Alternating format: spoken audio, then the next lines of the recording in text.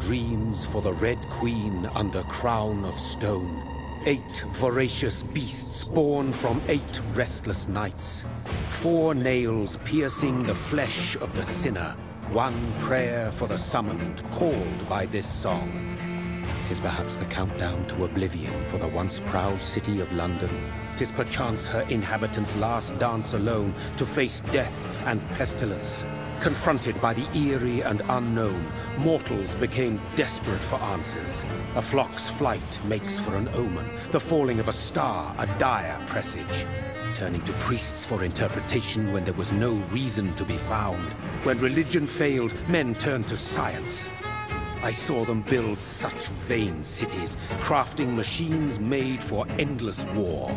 New questions flourished as old answers withered. What is darkness but lurking sun? What is wall but enslaved stone? What is glass but tortured sand? What is song but a call to arms? What is hate but jilted love? What is life but death pending?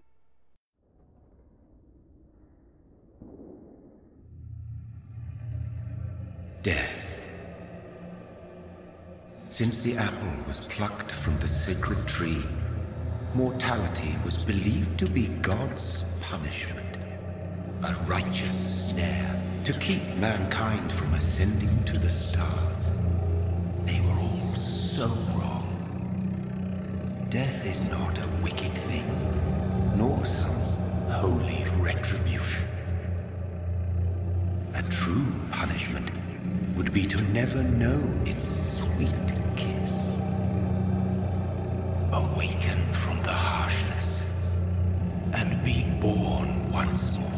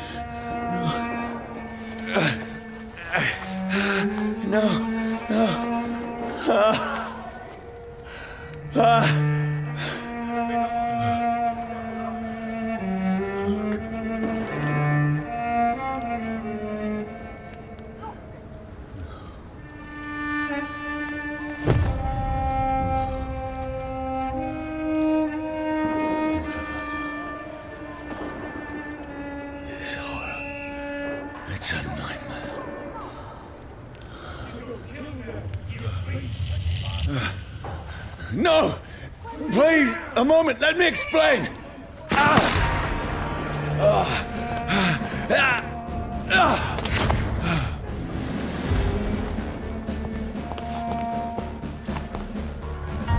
These patrols are after me. It's on to No! No! Don't shoot! This is a nightmare. I need to get out of here.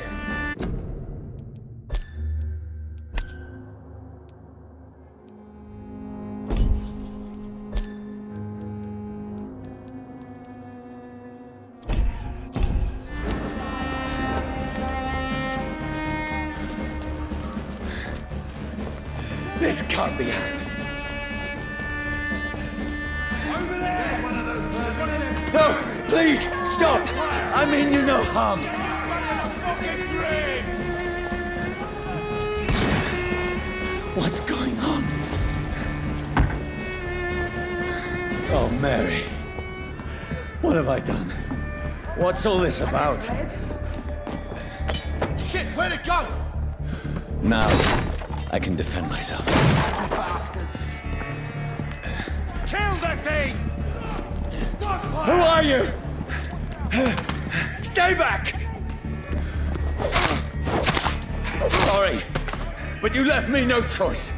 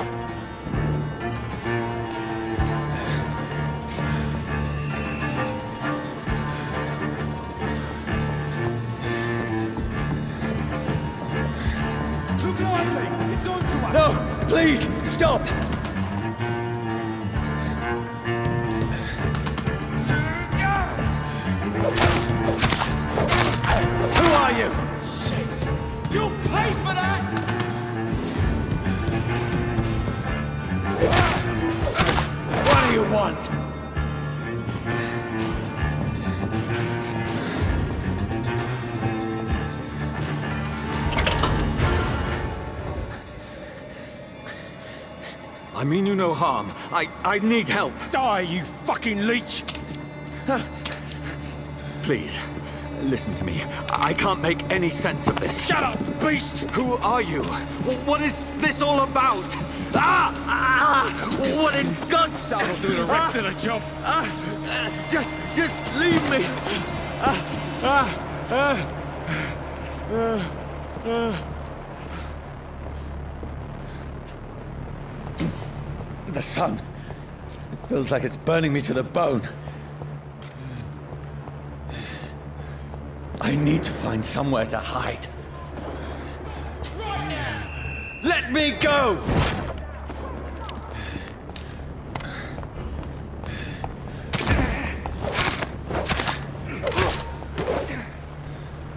I need to find shelter.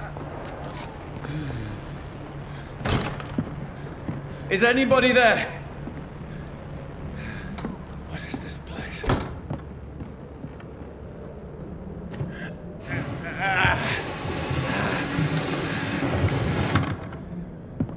The place seems abandoned. I should be safe enough here.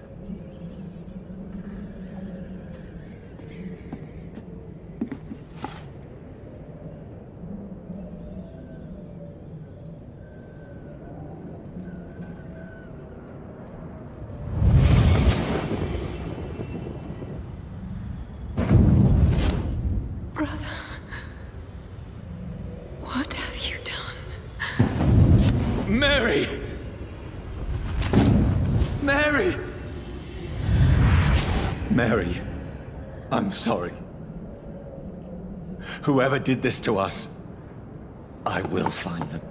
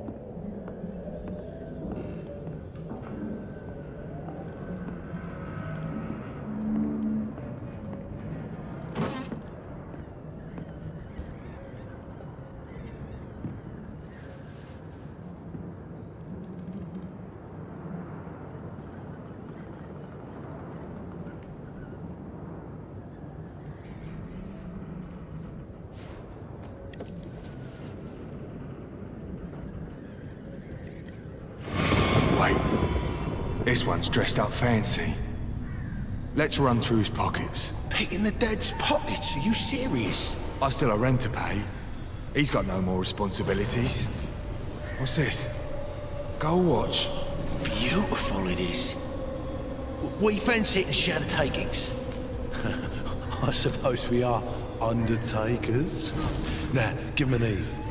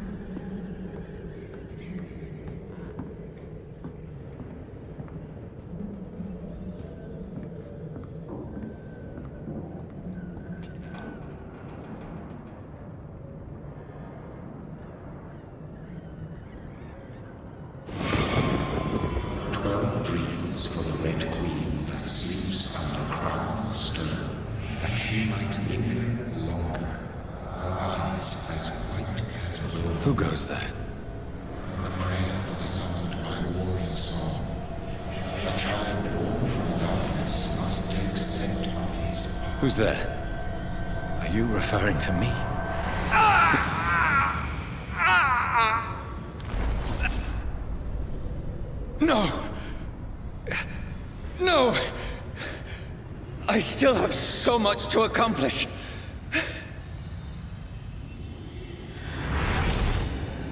I still have so much left that needs doing.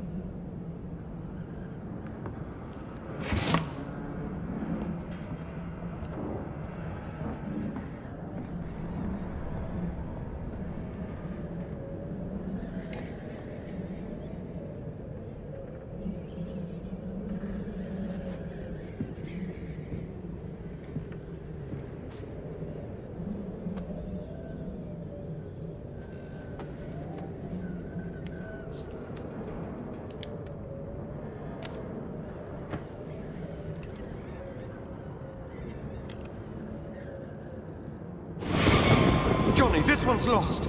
We need to leave. And now! No! There's time. I can save him. That's the enemy coming! The orders are to evacuate the hospital! Done. He'll live. And now what? We fight. Killing is a hell of a lot easier than healing.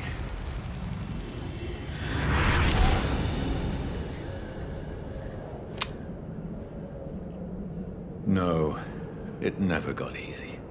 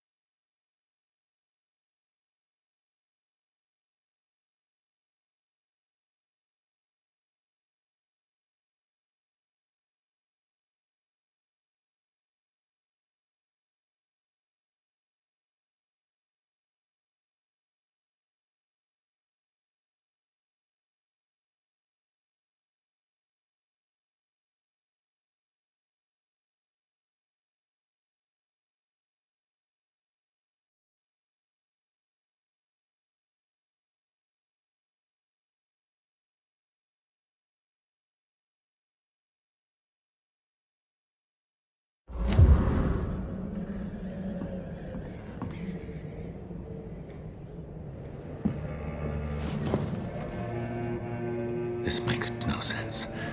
None of it. No sense at all.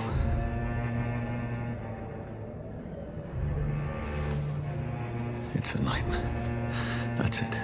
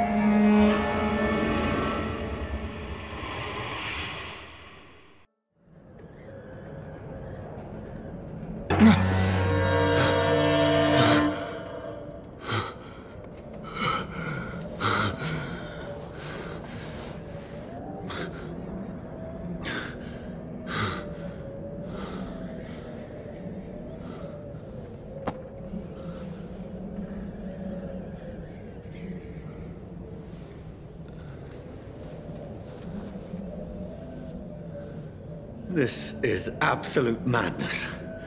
I've lost touch with the real.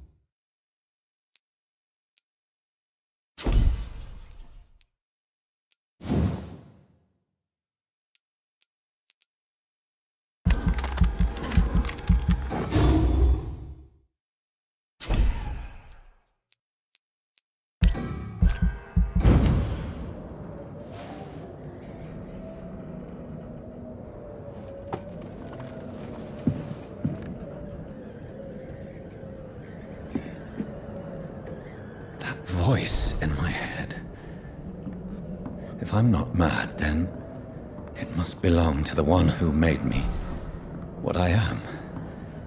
I must find him to understand what I have become.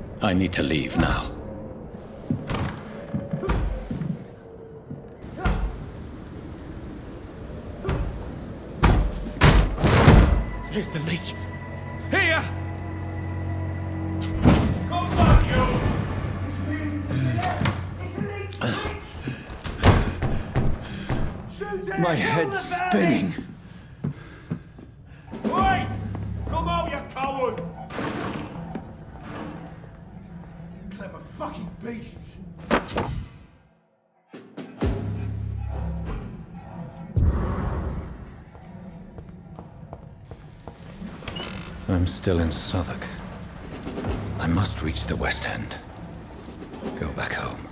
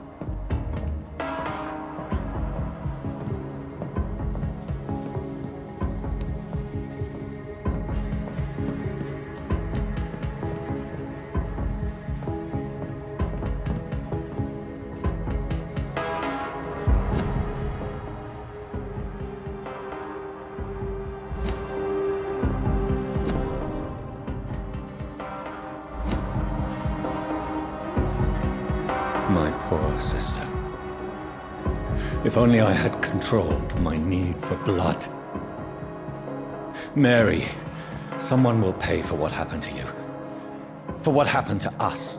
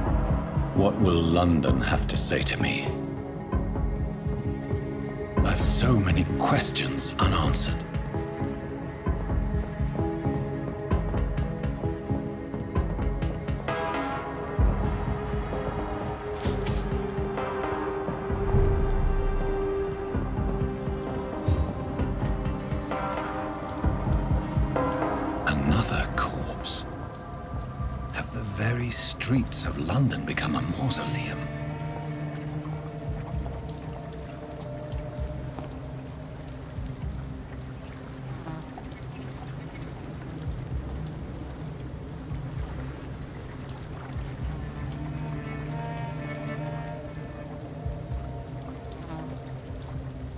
The man has been drained of all blood, but I can still smell the scent of it.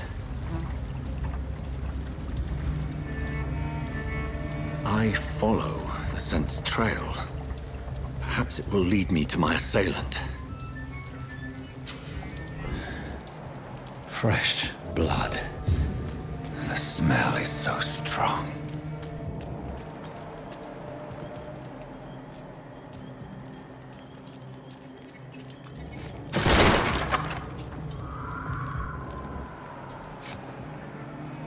This is a slaughterhouse.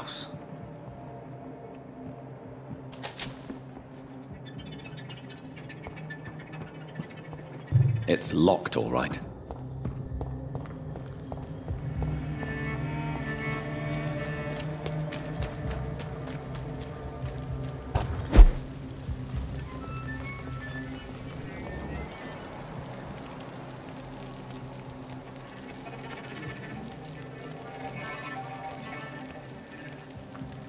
Where has everyone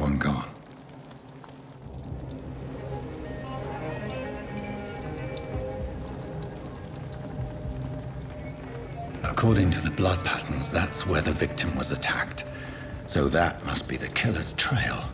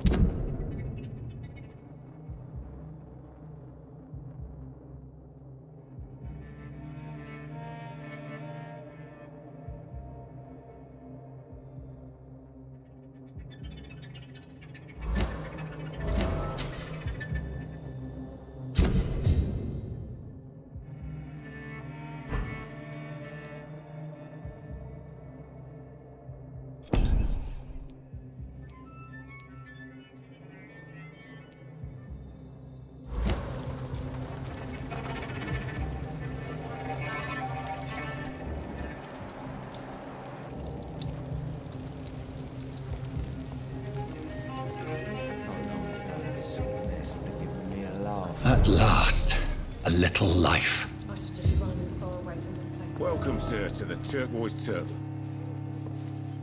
My God, sir, you look like Jonah's whale just spat you out of hell. Can I get you a drink? No, thank you. I'm not. not thirsty. Oh, grab a chair and get some rest. This is going to be another long night. Why is it going to be a long night? You must be new around here. Don't you know about the murders? Tell me more about these murders. Every morning for the last few weeks, bodies have been found. And those poor sods didn't die of flu. Do the police have any leads on a suspect? Ah, even before the outbreak, coppers never came round here. We're on our own. People die in these parts all the time, and no one cares. Where am I? Where is this place? You're at my bar, sir, the Turquoise Turtle. The last ray of light in this dangerous part of town. So you're open all night? Yep. Figured people might need a place to rest in these dark times. Aren't you scared? Scared of what? All the bad shit happens out on the foggy streets. and I never go outside. I'm looking for someone who might have passed through here recently. Wondered if you might help. It's been quiet tonight. The only other person I've seen went straight up to his room. Thought it was kind of rude, actually. You mean he's still here? Well, yeah. He paid for the entire week. Who is this man? What does he look like? Well, like a gentleman, I guess. Well dressed, quite polite. A professor or something fancy like that. Always writing, reading notes. How long has he been here? He rented the room a few days ago and didn't say when he'd leave. I need to meet this man. I have questions. Just climb the stairs and knock on the first door. I heard him open his window, so I guess he's still awake. And, uh... Yes? No funny business, you hear me? This is a respectable establishment. Damn it. I think drink no longer stirs me. Good evening, sir. I wondered if I could ask for your help. Wow, you look like you need a drink. Yes. I apologize for my outfit. It's been... It's been a long night. Been there, seen that. Don't worry, things can only get worse. What's going on around here? It's like everybody is hiding. You must be new here. Have you not heard about the murders? Everybody fears the return of the sewer dog. Who is this sewer dog? It's the local bogeyman. Convenient answer for every crime that happened for decades. You murdered someone, blame the sewer dog, eh? You make it sound like it's a fairy tale. People will always believe in monsters. It's easier than accepting their own darkness. We can all be monsters. Has anybody entered the bar recently? Can't say. Sorry. I spent the night making love to that gorgeous bottle, see? This is important, sir. Are you sure no one has come in here in the last few hours? I don't know and I don't care. This is a free country. People still have the right to come and go, don't they? I'll leave you to your bottle then.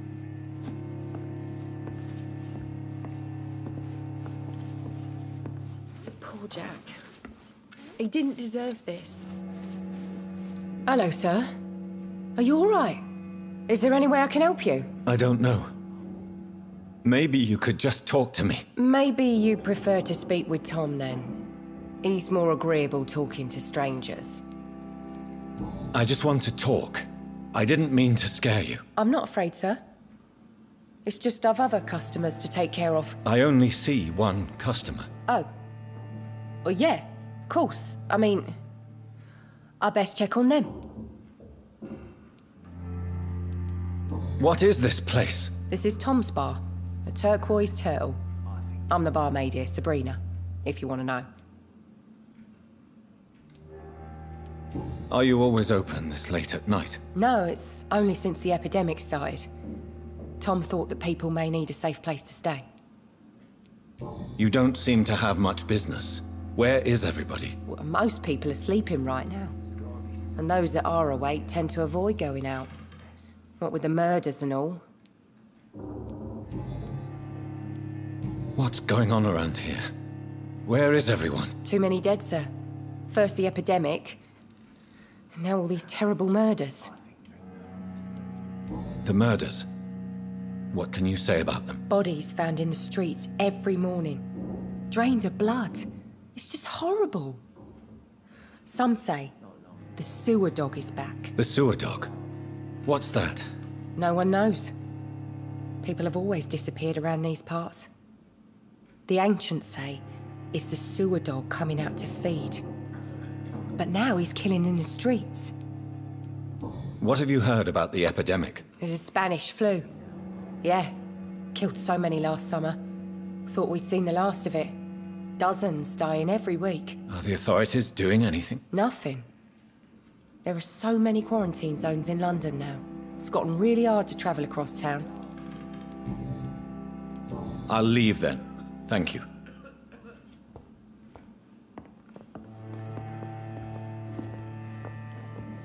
Damn it. I think drink no longer stirs me. Are they stupid or something? I've never even been to India. This is no place for you. Priwen has several patrols roaming the area. They do not pursue me. But they're looking for vampires, and they're most efficient. They'll not relent until the killer has been identified. I have a common objective, but I require... I think someone is eavesdropping. Are you certain? You might as well come in, whoever you are. Slowly, vampire. Who are you? I mean you no harm. Saith the vampire. Present yourself. I... I need a word. With anyone.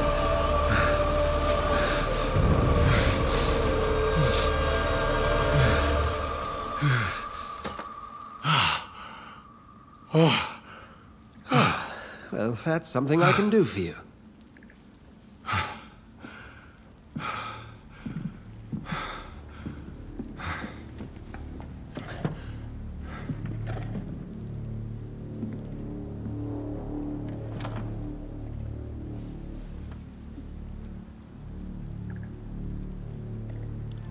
And who might you be? Tell me, who are you? First, tell me what you want. Then I may tell you. That's none of your concern. Sir, you have entered my room in the middle of the night, pale as a corpse and shaking like a tree. So please, indulge me. Something, someone, is molesting people. In fact, killing them. Biting them. The calling card of a vampire. Like you.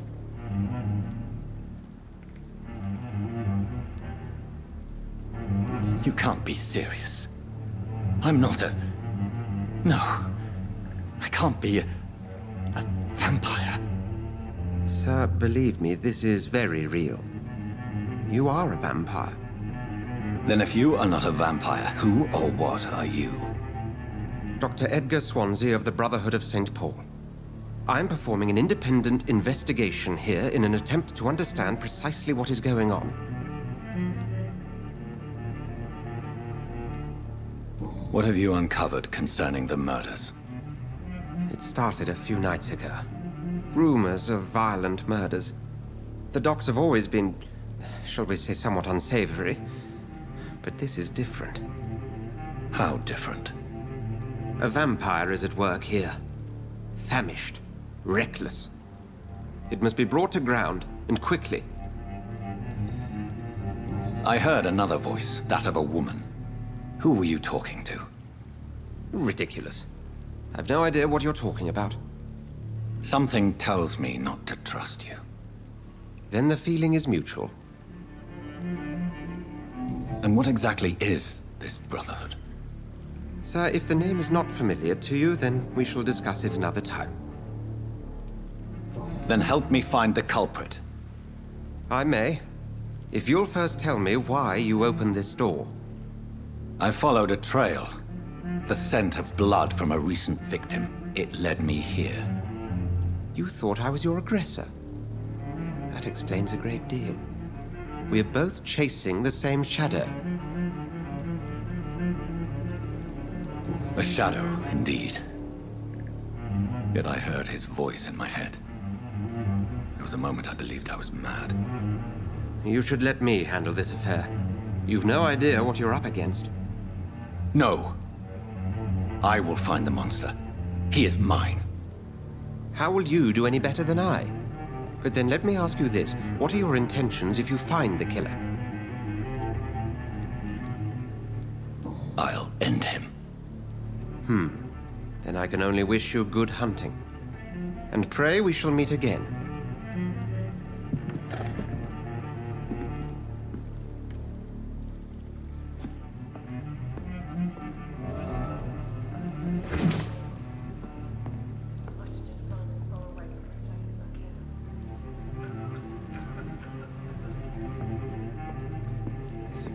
If Swansea is not my attacker, it means somebody else came here tonight.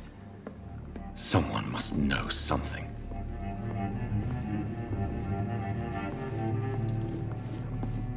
Welcome back. Did you find what you were after? I can't say I have. Are you sure no one else came into your bar before I arrived? Hey, I told you, you were the only other stranger I've had. I think you're hiding something from me. I hide many things from many people, sir. That's what my job's about. Goodbye, Mr. Watts. Hello, sir. May I disturb you again? And you're still ugly as sin. I'll leave you to your bottle, then. Evening, sir. Can I help you? I have a few questions for you. Well, if you must. I spoke to Dr. Swansea. He's not the man I'm looking for. Now, I want the truth. The truth? What do you mean? I suspect that someone else was here tonight. And I don't think Tom wants to tell me about it. I'm just the barmaid here, okay? If Tom says you're the only visitor we had, then you're the only visitor we had. I can feel your fear, madam. Please tell me what's going on. It's Will. William Bishop. He came in here earlier tonight and he... Well, I thought he was going to clock someone. Why are you so afraid? I mean, his skin. His hands. I scrubbed every glass and every chair that he touched. God, I hope it's not contagious. What happened tonight? He he was dead drunk, as usual. But my God, his, his, his eyes. His face. He must have caught something awful. He shouted and, and cried. It was terrible. Tell me about this William Bishop. Will was a sailor who worked at the canning factory before he lost that job. A nice bloke, really. He's never been violent. Until tonight. Why keep it a secret? Why not tell me about it? Tom's nothing if not loyal. After Will lost his job, he offered him one ear. They used to be good mates. But recently, well... Will started to get very aggressive. I see. Thank you for your candor. I'll be sure to talk to Tom.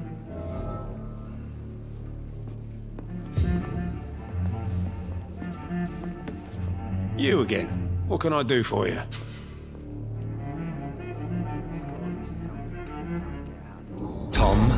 Talk to me about the visit from your old friend, William. Yes, Will came by tonight, but he's not my friend anymore. Why lie to me if he is not your friend? I didn't lie. I said you were my only unannounced customer, and that's the truth. Who is he? William. Just an old sailor who loves his gin too much. He worked for years at the canning factory before it closed.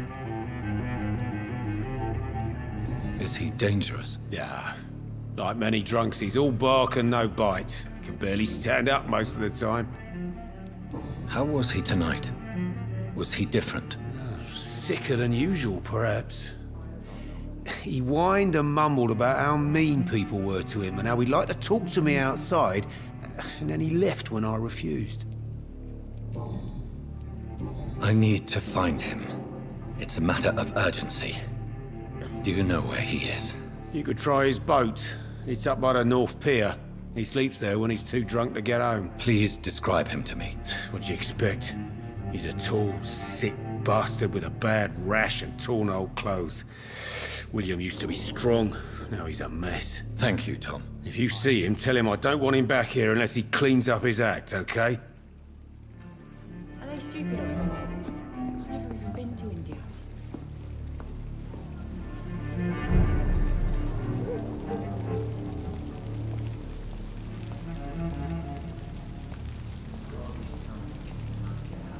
I will get to the bottom of this. Intrigue. What's been done to me? To this city?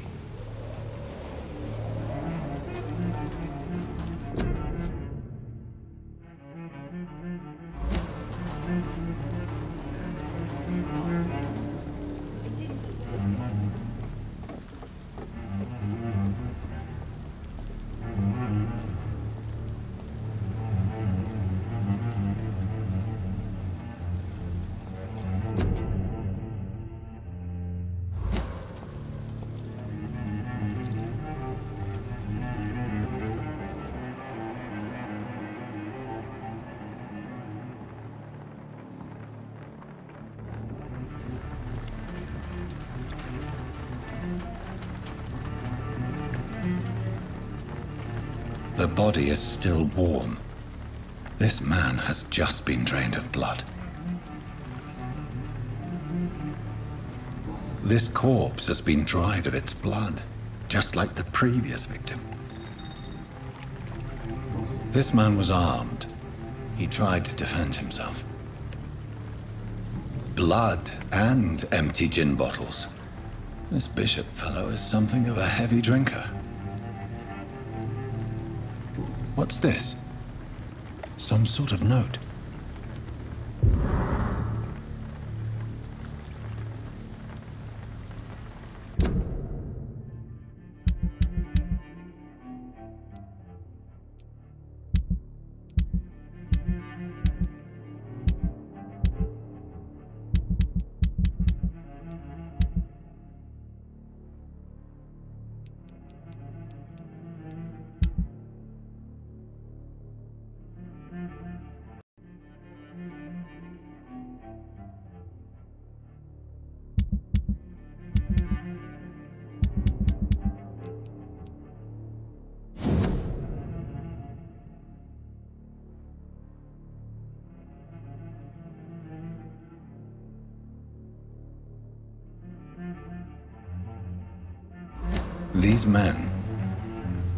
Company of professional vampire hunters. There are blood splats on the other side of the canal. I must reach that barge.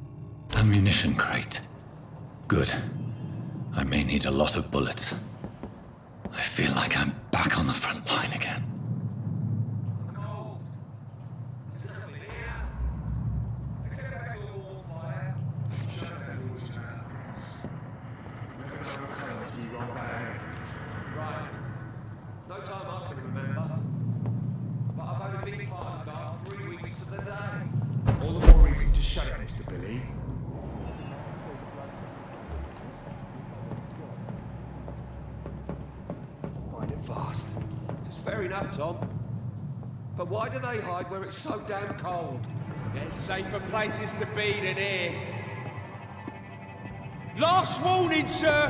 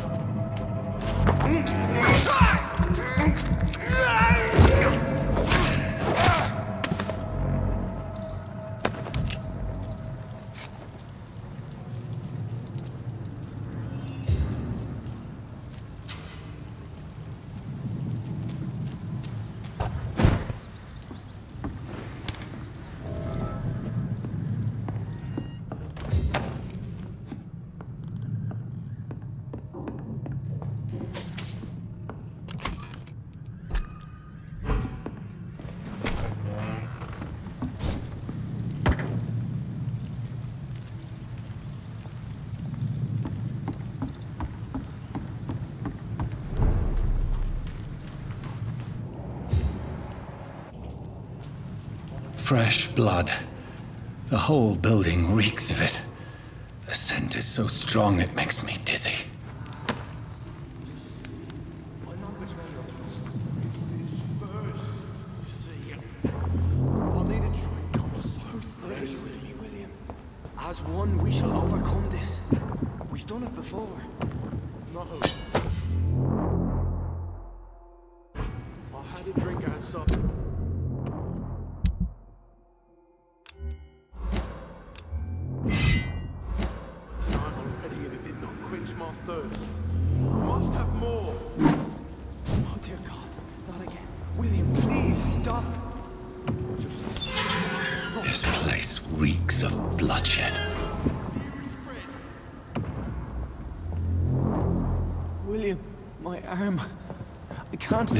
creature is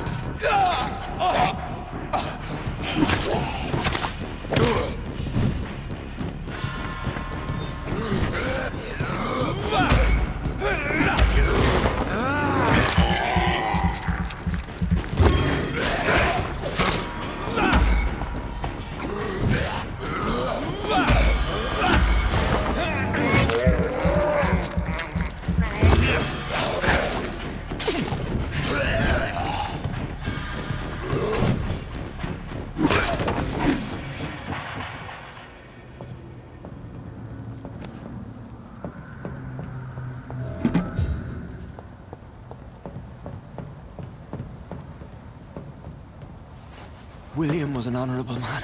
I could have saved him. Mr. Hampton, are you in there? I knew him well, another lost soul, a kindred spirit. Sir, listen to the sound of my voice. I am... I'm a doctor. You're suffering from shock. I must return to my flock. They'll stray without me.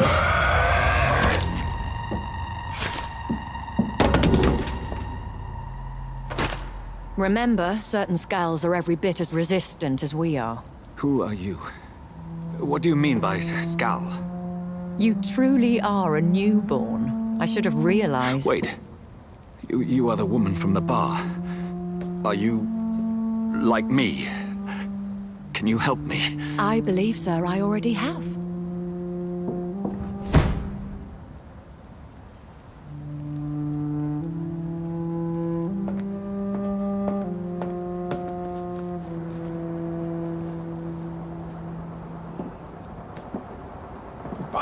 George and the Saints, you've solved the mystery of these terrible murders. Patience, good fellows, I've come to offer help. Just give me a moment to secure my boat. We can leave this awful place. William was not the evil man they claimed. He was just taken by the thirst. He needed his drink. This man requires medical attention. We'll see he gets to the nearest hospital. No, please, I must tend to my fold. My flock needs me. There, sir. Go with the good Dr. Swansea. He's resourceful, and I'm sure he'll take good care of you. You'd best come as well. The sun is soon to rise, and you'll need a place to rest. I just need a moment. If I can learn something about what has happened to William, I'll be a step closer to understanding what happened to me.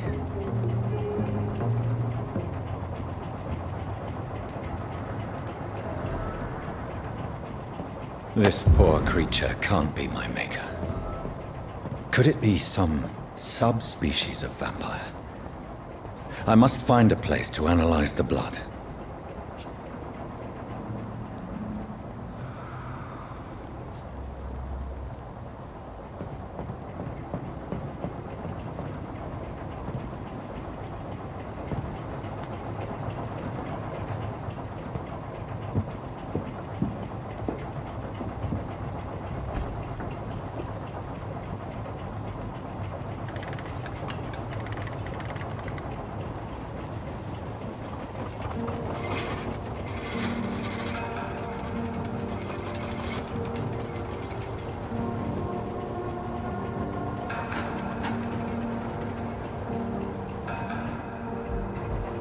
We headed? We're on our way to the Pembroke Hospital. It's just across the canal. They'll have a bed for poor Mr. Hampton. William was... What manner of creature was he? Predator, prey, villain, and victim. Who can say? The important thing is that he's been stopped. Duly noted. And the woman? What... Who is she? What woman? Oh, don't play me for a fool. You used me to locate that Skal. You must know who she is. And I thought you were a gentleman. You shouldn't talk about a lady behind her back, but I will tell you she values her privacy. Were London as peaceful as she appears from the middle of the canal? If only that were the reality of the situation. To be honest, I've always tried to avoid this part of town. Pembroke Hospital is the last bastion between the rest of London and the epidemic. The flu has decimated the East End and the war still rages. Welcome to the front lines of a plague. This is where you work, Dr. Swansea? I am the administrator of Pembroke Hospital. I thought you were here in service of your mysterious order, the Brotherhood of... Of St. Paul's Stole, yes. But first and foremost, I'm a man of science. A physician, like yourself, Dr. Reid. How, how do you know who I am? No need for modesty. You are Dr. Jonathan Reid, a surgeon of some caliber and renown, if I'm not mistaken. You are correct, sir. I knew it! I had my suspicions. But when you took the blood sample from the corpse of poor William, I was certain. Dr. Reid. Marvelous. Have we met? I attended three of your seminars before the war. I have the utmost admiration for your research. And what a turn of fate. England's most esteemed blood specialist returns to London a vampire. that word again. from a so-called man of science. I understand. Traditionally, the role of science is to refute myth, but when myth walks among us, the Brotherhood of St. Paul has dedicated its purpose to their study. There's so much for you to learn. And for that, you are right. Well, then let me be blunt. Join my staff at Pembroke Hospital. As a physician. I suspect you'll not find a better post of employment to contemplate your uh, predicament. This is sudden. I was returning home to see my sickly mother. But alas, that was before contracting this... affliction. Dr. Reid, take a moment to consider. The post would be for the night shift, providing a good explanation for your absence during daylight hours. You'll be adequately reimbursed and have a place to hide. I even had the forethought to bring some clean clothes. So, what do you say? It seems I have little choice, but yours is a generous offer, so I thank you. Brilliant! Oh, Jonathan, this is one for the book, and the beginning of a beautiful friendship.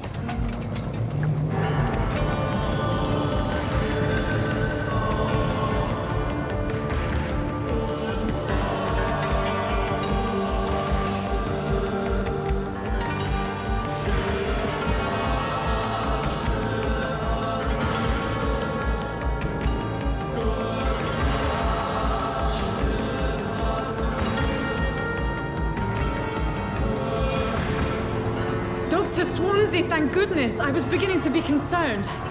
Worry no more, Nurse Crane, for I bring good news. Oh, Doctor, what a night. We lost two more patients. Nurse Scow said she couldn't take it anymore and resigned. Yes, well, I'll make a new rotor in the morning. In the meantime, find a good bed for Mr. Hampton. Be sure to pay attention to his needs. Of course, Doctor. Oh, and Dorothy, Yes, Doctor? Dr. Reid here has just returned from the front. He served King and Country and will be joining us here at Pembroke. We're very lucky to have gained a surgeon of his talent, and one so experienced in blood transfusions. That is good news indeed, Doctor. Oh, yes.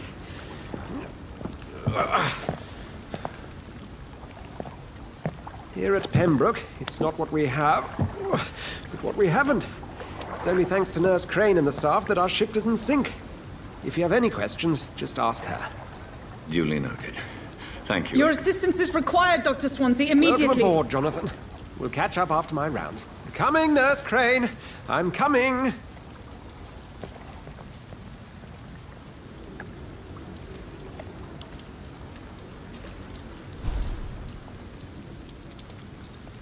Come on, you bastard! You can do better than that! Nah, turn!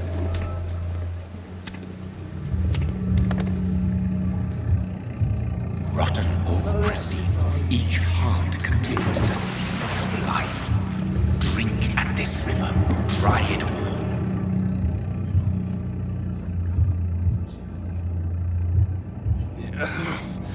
Oh, come on, you bastard! I won't bite. Sir, please. You've lost too much blood. Calm yourself. You think I didn't notice? Stop your staring and get me to an hospital, you arse! Insulting a good Samaritan. Not exactly the way to get rescued. Alright, alright, sorry. I am in pain here. My guts are spilling out onto the street and you're yabbering on. Yes. That's a very nasty wound you've got there. Take my word, I was... I am a doctor. Dr. Jonathan Reid. My name's Clay Cox. I'd appreciate you helping me to a better place, Doc. Follow me, Mr. Cox. Let me assist you to that better place.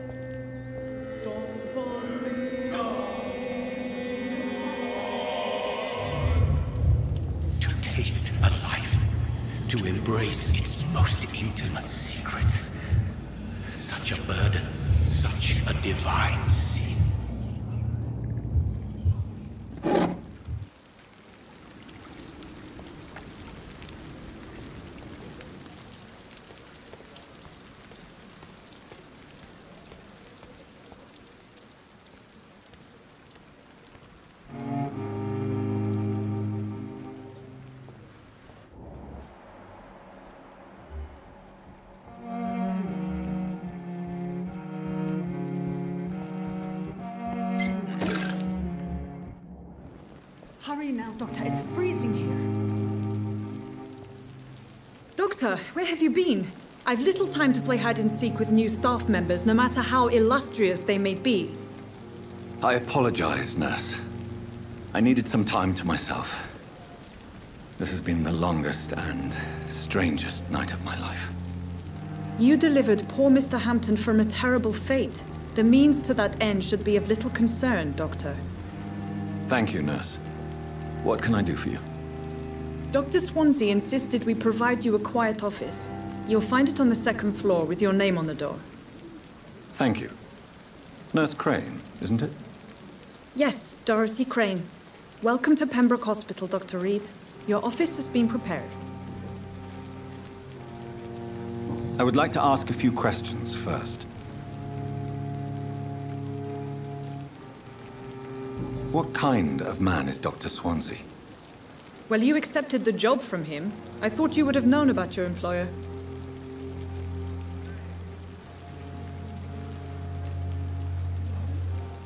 It's right to assume Dr. Swansea knows far more about me than I do about him. You'll get to know him soon enough, and better than me. The administrator has better things to do than mix with us. Apologies, I've only just met him the once. This is sudden. I've only just returned to England. Dr. Swansea is a brilliant surgeon and the most compassionate physician.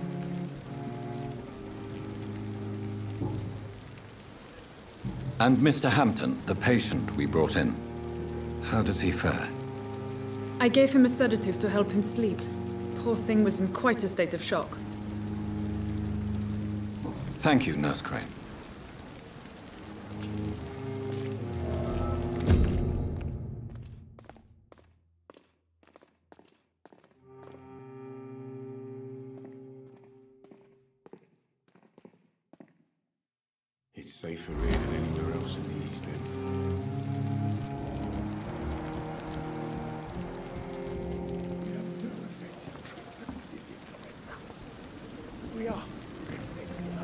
Good evening, sir. So it is true. The famous Dr. Reid has joined us. I can't think of any better news during these terrible times. Do we know each other? Actually, yes. We met once before at the Rockefeller University in New York. Dr. Tippett, yes, I remember. I was assisting Professor Carrel in his research about coronary bypasses. He had nothing but praise for you. He was also very confident about your future. And look at you now. Eminent surgeon and blood transfusion specialist.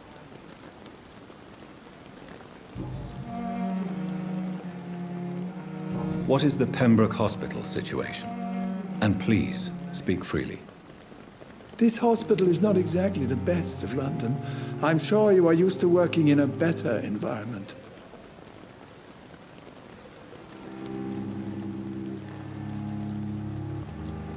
It's more than enough. In any case, the personnel of a hospital are much more important to me than the building. Don't be misled by appearances, Dr. Reid. This hospital does not lack talented people. It just lacks hope. What can you tell me about the staff in the hospital? Some are really good, and others are not so good. But during this troubled period, there is no time for slander. I prefer to focus on the positive character traits. Tell me more about cherished people, then. Nurse Brannigan is a pearl. She is the most helpful and dedicated nurse I've ever worked with. A clever and cheerful woman. You really seem to admire her skills. I'll go even further. If she was a man, she would be a damn fine practitioner. Any opinion about the management? I don't always agree with Dr. Swansea's reserve, but I must admit he does all he can to keep this facility running during this crisis. Ah, yes, the burden of command. I was fed up with this concept while serving as a medical officer. Don't get me wrong. Swansea's a good administrator. I just wish he would get out of his office down again.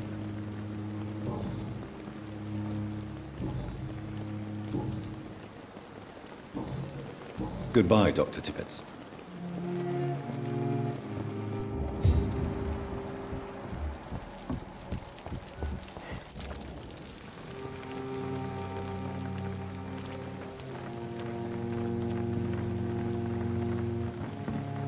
Good evening, nurse.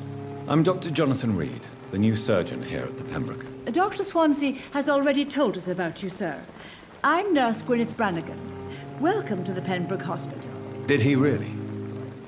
It's a good thing I wasn't hoping to keep a low profile. All members of staff have already read about your new blood transfusion technique. Dr. Swansea made sure of that. I see. Well, I'm a little surprised, but I suppose I'll just have to deal with this unexpected notoriety. You must know, blood transfusions are Dr. Swansea's primary subject of research. He is convinced it is the future. How are things here? Not good, to say the least. We're struggling against an invisible enemy, more lethal than any bullet from a gun. It's hard, Doctor. An invisible enemy? Quite a poetic term for a disease, especially from a nurse. Sorry, Doctor. These last few weeks have been exhausting. We could all do with a good night's sleep. Do you think this hospital can survive the epidemic? We are all volunteers here, and we're trying to hold fast, but how do we beat an invisible killer? Some nurses have already resigned. I'm not familiar with all the staff yet. Perhaps you could help me. Brilliant professionals, most of them. Dr. Swansea has a gift for recruiting talent. Most of them. Is there a problem I should know about, nurse? It would be inappropriate for me to speak ill of a colleague. Is there anyone that stands out? Well, I have never met someone as dedicated as Dr. Tippett. He should be a standard for us all here. If only he were younger. Why should his age be a problem? I guess it's fair to say he's always pushing himself to the limits. He just doesn't know when to stop and get some rest. Nurse Brannigan, if you do know something, please tell me. Anything you say will be held in confidence. No. I may disagree with some conduct, but in the end, everybody is doing their best.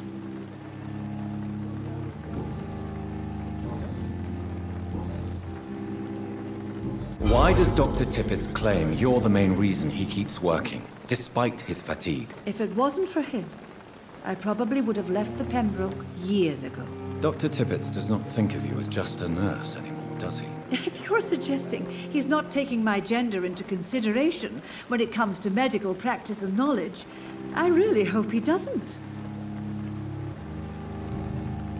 Goodbye, nurse. Call me if you need assistance.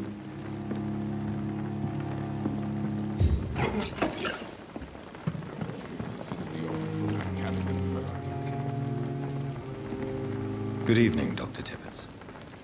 Dr. Reid, any good news to share? You're exhausting yourself, Corcoran. Maybe you should think about preserving your strength. No.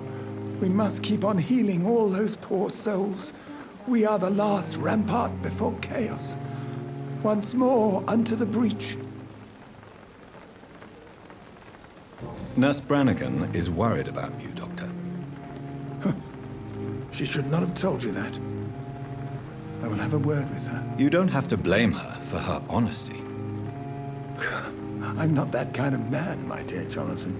Actually, Nurse Brannigan's opinion is the only one I may listen to.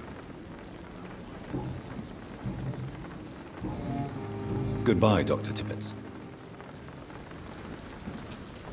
This is no time Good evening, sir. I'm Dr. Jonathan Reid. I'm new here. I've already heard about you, Dr. Reid. I'm Milton Hooks, the ambulance driver for this shithole of a hospital. That's quite a blunt introduction, Mr. Hooks. You can call me Milton. I like to speak my mind, Dr. Reid. Perk of the job. Don't judge me, and I won't judge you. I'm not sure I understand what you're talking about. Well, I'm no doctor, but I'm pretty sure a gun can't be used as a surgical instrument. You have a keen eye. I learned to shoot during the war, and have carried one ever since. Old habits die hard. No need to explain, Dr. Reid. And if you ever need a better gun, remember, I may have something for you.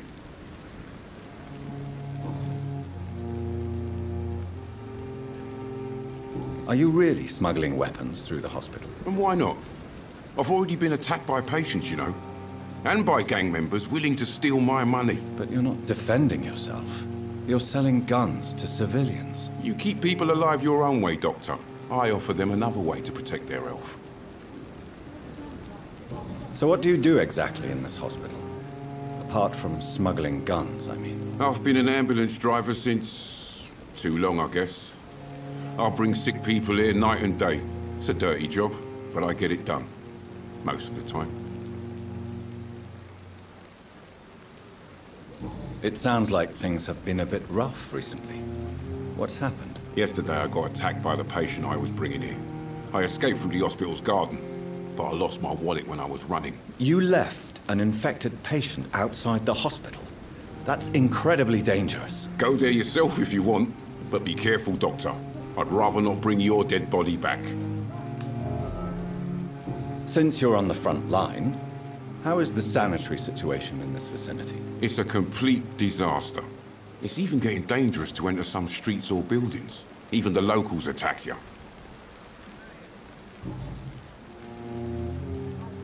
How is the situation around here? You want to hear the situation is all right? It's fucking awful. We lack everything, and it's getting worse every day.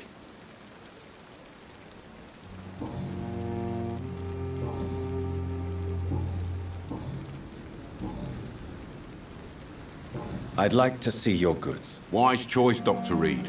A reliable gun is what everybody needs these days.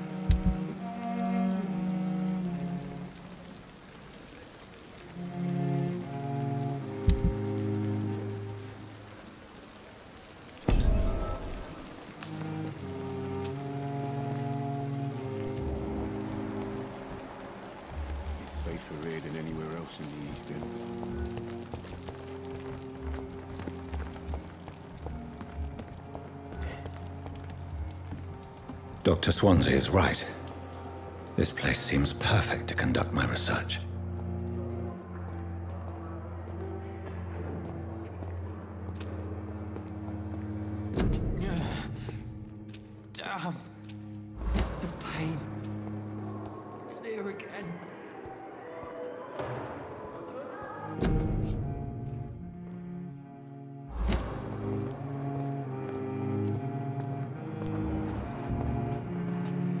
Good evening, nurse. Good evening, Doctor.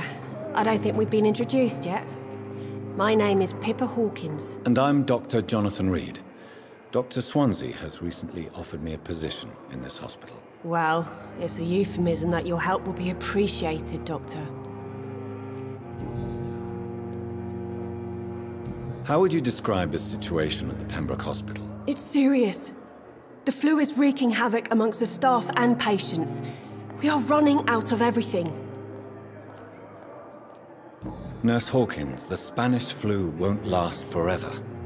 Even the Black Plague didn't kill everyone. I wish I could believe you. But what if this epidemic was worse? What if in the end, nobody was spared? You must get a hold of yourself, nurse. Sorry, I'm exhausted. No one has any idea when this epidemic will be over. How long have you been a nurse? Well, long enough to see that the epidemic is winning. And no matter how qualified you are, don't tell me you'll change that.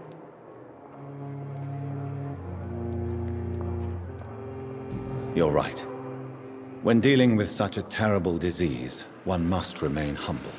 But that doesn't mean we shouldn't try our best. Sorry, Doctor. I don't want to sound bitter, but I'm just too tired to give a pep talk like Nurse Brannigan. How is the Pembroke staff coping with the epidemic? Well, not well. Milton, the ambulance driver, is even more grumpy than usual, especially concerning doctors. Why is Milton grumpy on a daily basis? Is it just an act? Milton's not the kind of man who's bothered about a bad reputation, whether he deserved it or not. Why does Milton dislike doctors? I don't know. Just ask him. But be warned, Milton is not the chatty type.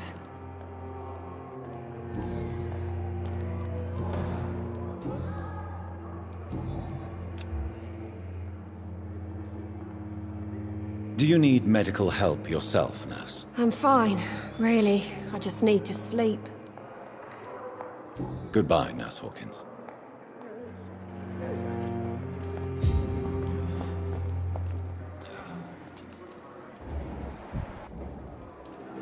Good evening, miss.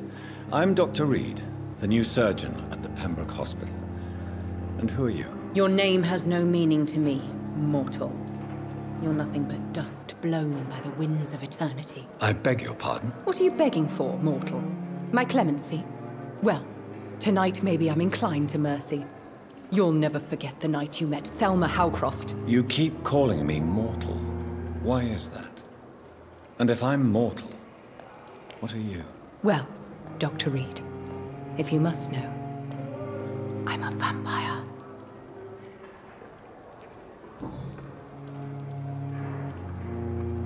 And why do you believe you're a vampire? I don't need to believe anything. It is what I am. It is what I feel within this hollow shell of flesh. Please, describe to me how you feel. What is it like to be a vampire? I can hear my body crumble from the inside as my flesh cracks and fades. I sense the last pulse of postulant blood within my drying veins. I need new blood. I see. Have you ever heard of Cotard syndrome, Miss Howcroft? Never. It's a mental illness discovered by a French neurologist named Jules Cotard. The affected patients are delusional. They believe that they are putrefying, that they are dead, uh, a, ghost or a ghoul. Or in your case, a vampire. Delusional, you say? Oh, sad and petty mortal. You can't even begin to understand the concept of immortality. And you think it is I who am delusional. I'm assuming you must be a patient here. Am I right, Miss Howcroft? It's only a cover. To hide from my enemies. I can leave whenever I want. As a woman, a, a spirit, fog, or bat. Who are these enemies you mentioned? Can you describe them? Hmm, I cannot say for sure. But I sense their eyes on me from nearby. I, I, I feel them watching me every time I visit the garden near the morgue. The staff here are not your enemy. They're here to help you, to care for you. I'm not speaking of the doctors in white. I'm speaking of the men and women who hunt me. For I am a vampire. I see. Don't worry. These people will not find you here. I'll personally make sure they leave you alone. Thank you, mortal. But do not interfere with them, for you are no match for those that hunt me.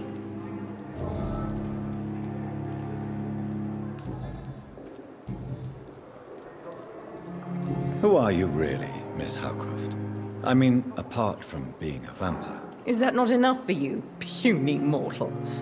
What do you require? Hmm? Proof of my powers? I'm curious to know who you were before becoming a vampire. It was such a long time ago, I don't remember.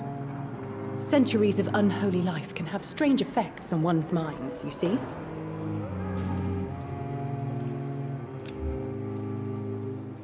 Do you require my services, Miss Howcroft? I have no need for your medicine, Dr. Reid.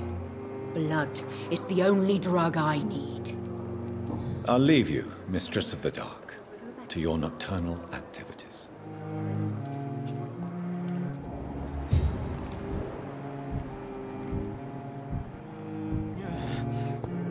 Damn. Good evening, sir. Can I help you? Unless you're here to fix my face. No. I don't think you can help me. I'm Dr. Reid. I've recently taken the position of head surgeon here. War injuries, am I right? You guessed right, Doctor. German shell took my pretty little mug right off. But they still call me Thomas Elwood.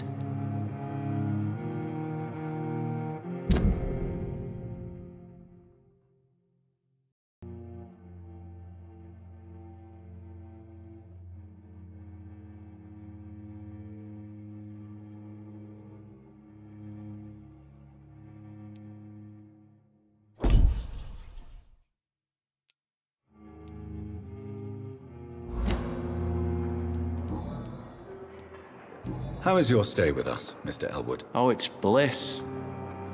I just escaped death in the trenches to be surrounded again by the moans of the dying. Can I ask you precisely why you're a patient here? It's the pain, sir. The drugs don't work. It just hurts under the scars, if you get my drift. Who is treating you?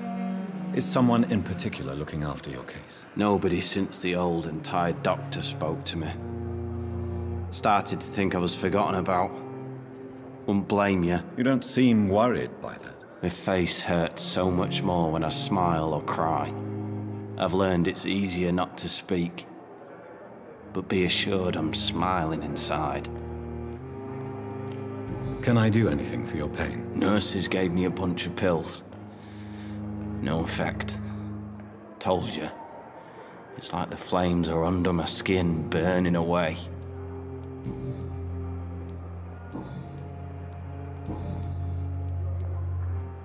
Where were you stationed, sir? Did you serve for long? I really don't want to talk about all this shit. No offense. I was pushing too much. I served in France myself. I just wanted to know what happened to you. You were an officer, weren't you? Then I doubt we fought the same war, sir. No offense. How close are you to Miss Hawcroft? Are you aware that she thinks she is a vampire? To wait for her next nibble is the best reason to stay here. Every time she approaches my bed, she treats me like something tasty. A normal person. Aren't you afraid? She may hurt you if the game goes too far. She's quite harmless, I can assure you. Her head's broken inside is all. While I'm busted on the outside. But she's still beautiful. Living proof that there's hope for me. So do you let her bite you? You know that's not sanitary. And why not? She's only supping a few drops of me blood.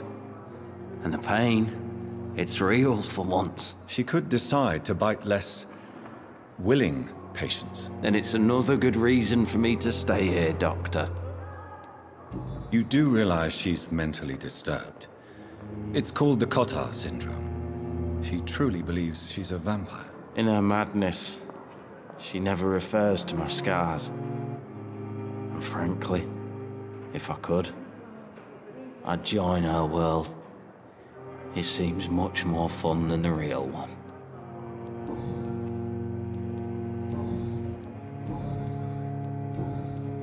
Goodbye for now, Mr. Elwood. Fear and disgust on every street corner. Daily routine. Good evening, Mr. Hampton. How do you feel? Dr. Reid, is it? Oh, sir, I must apologize for my behavior. What do you mean? I was not myself in the factory. Fear and exhaustion made me say awful things to you, I'm afraid. You remained perfectly nice and polite. A little delirious, perhaps. But who wouldn't be after enduring an abduction? Thank you, Doctor. That's a relief. Now all I need to do is rest and return to my flock.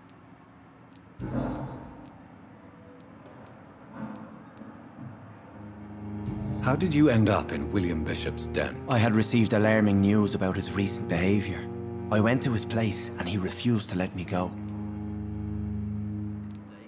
Why did he abduct you? William was an alcoholic. His addiction suddenly changed to blood. I don't know why. Just like a patient I met here.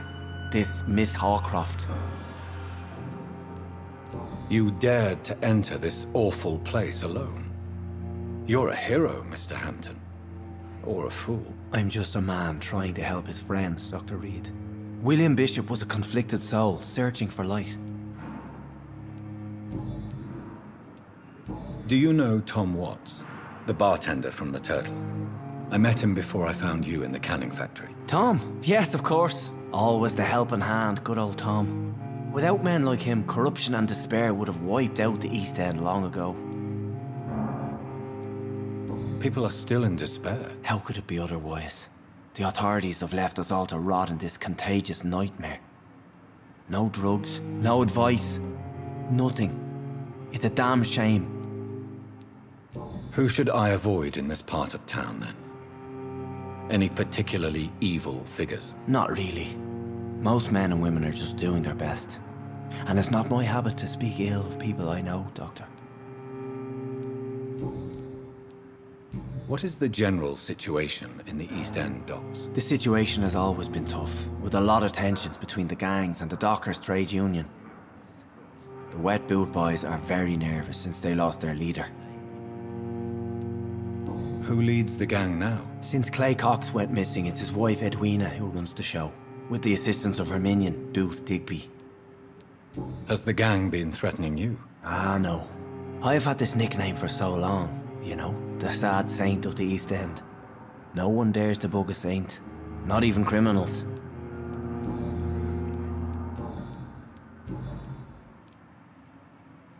What do you do for a living, Mr. Hampton?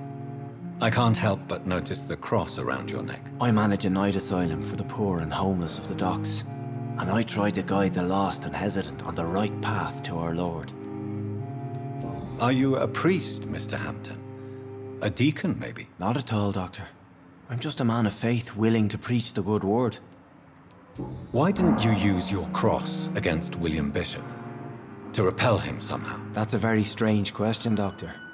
A cross is no magical token, if that's what you were trying to say. Not mine, anyway. How do you feel, Mr. Hampton? Medically speaking, I mean. I feel exhausted. Beyond exhaustion, actually. William drank so much of my blood in his madness. I feel... empty. You're in good hands here. Dr. Swansea is well versed in blood transfusion, and I'm sure he'll take the best care of you. Thank you, sir. I believe all I need is rest.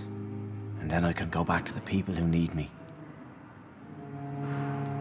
Have you made friends since you arrived? Not really. But I recognize Miss Harriet Jones. I knew her when she lived by the docks. That poor woman had such a miserable life. You never came to see her here at Pembroke? Receiving visits when sick can be an important part of the healing process, you know. We're not just bodies. You're preaching to the converted now, Doctor. To be truly honest, I thought she was dead. She left the docks many months ago. Goodbye, Mr. Hampton. We'll talk again later.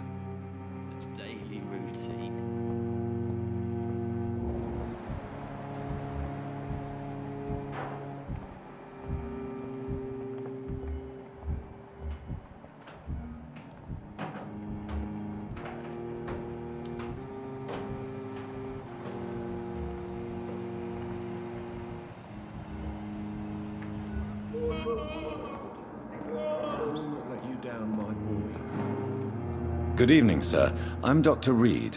I believe we're going to be colleagues. Reid, yes, I've been informed about your arrival. I'm Waverly Ackroyd.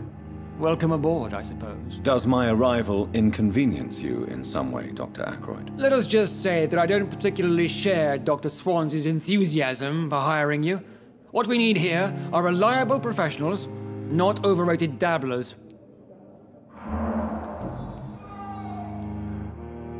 If you have a problem with me, Dr. Ackroyd, please feel free to tell me. Dr. Swansea has imposed your presence on this hospital without asking anyone's advice. The benefit of his position. But I don't agree with it. I know we've never met before, but I believe this hospital could use all the help it can get. You will agree with that, I'm sure. Oh, but I have heard about you, Dr. Reid. Of course, you can't say the same about me, since I have not wasted my time courting the press. Aren't you too old for such jealousy? It really won't do you any good, you know. Don't be ridiculous, Dr. Reid. A simple glance is enough for me to know you have nothing for me to envy.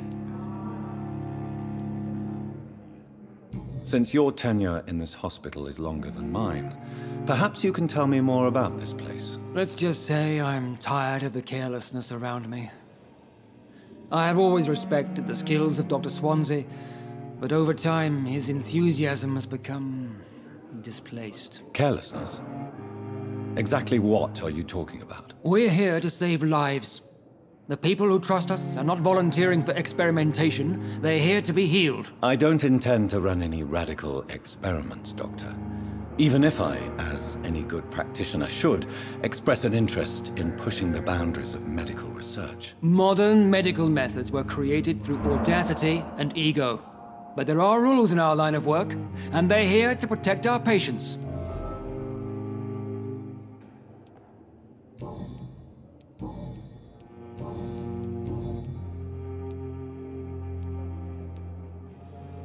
It seems you have bad memories of your military service. I refuse to see this industrial slaughter as scientific progress.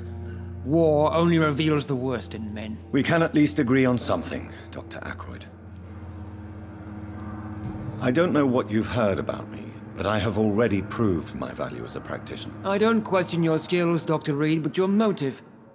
Is it money, fame, or are you truly dedicated? And what exactly is that supposed to mean? I served in the war just like you. But unlike you, I did not use the wounded to play the modern sorcerer. Be careful what you insinuate, Dr. Ackroyd. I only want you to admit you used those men to improve your theories.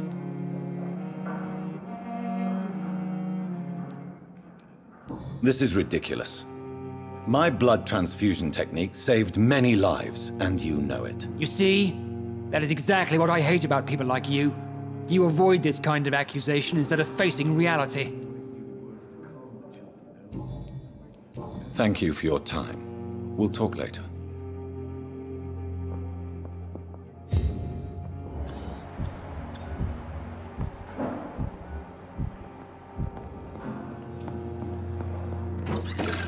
I will not let you down, my boy. But in the circumstances... Good evening, sir. I'm Dr. Reid. May I help you? I don't know if a third opinion is needed. Your colleagues are already arguing about my condition. I see. Would you mind telling me more about your situation? I'm Harvey Fiddick. All I want is to get me bloody arm fixed properly. Tell me about yourself, Mr. Fiddick. I'm just a regular guy waiting to get his arm fixed, so I can return to work and to my family. I was more curious about what you were doing before being hospitalized. I'm a carpenter, and a good one too. But that means I need both arms to feed my family, Dr. Reid. Tell me about the doctors who are arguing about your case. Strickland and Ackroyd. They both want the best for me, but there's a lot of pride there. Doctors are no different from carpenters, it seems. What do you mean? I often had professional arguments with rivals on a building site. Difference is I disagreed about wooden nails, not flesh and bones. Are you satisfied with your treatment here? Well, it's clear that I've chosen a bad time to be injured. Forgive my bluntness, but you seem overwhelmed by cases of the flu. I won't lie to you about it. I'm afraid we are. Are you sure you don't want to operate yourself, Dr. Reid? I have the feeling you're very capable. And your colleagues seem to think so too. In other circumstances, you would be right. But for now, I don't think I can take on the responsibility. My apologies.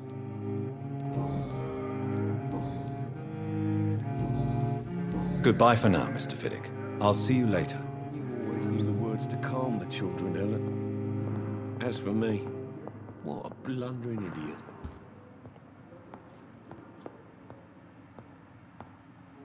Good evening, madam. Can I help you? It's my son who needs you, sir. I'm Dr. Jonathan Reid. How can I help your son? I'm Beatrice Goswick, mother of Mortimer Goswick. Could you check on him, please, Dr. Reid? I've heard much of your talents as a physician.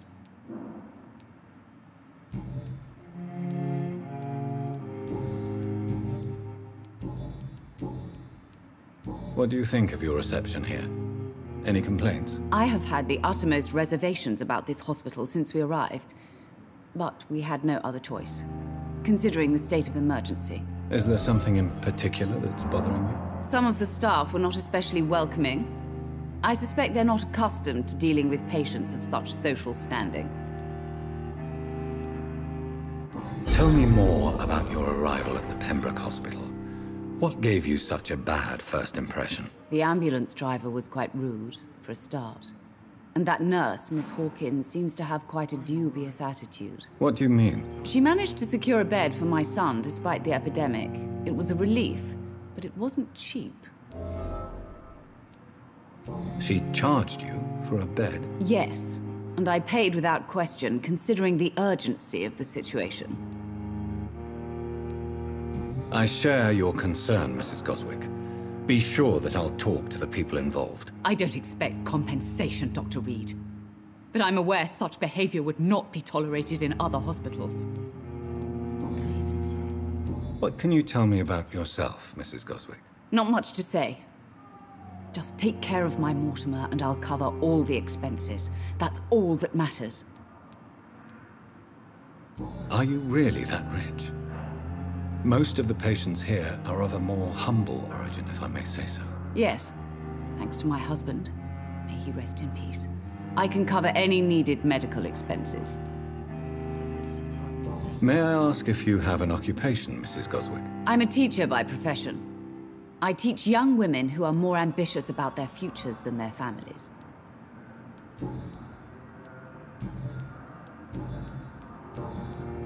Goodbye, Mrs. Goswick.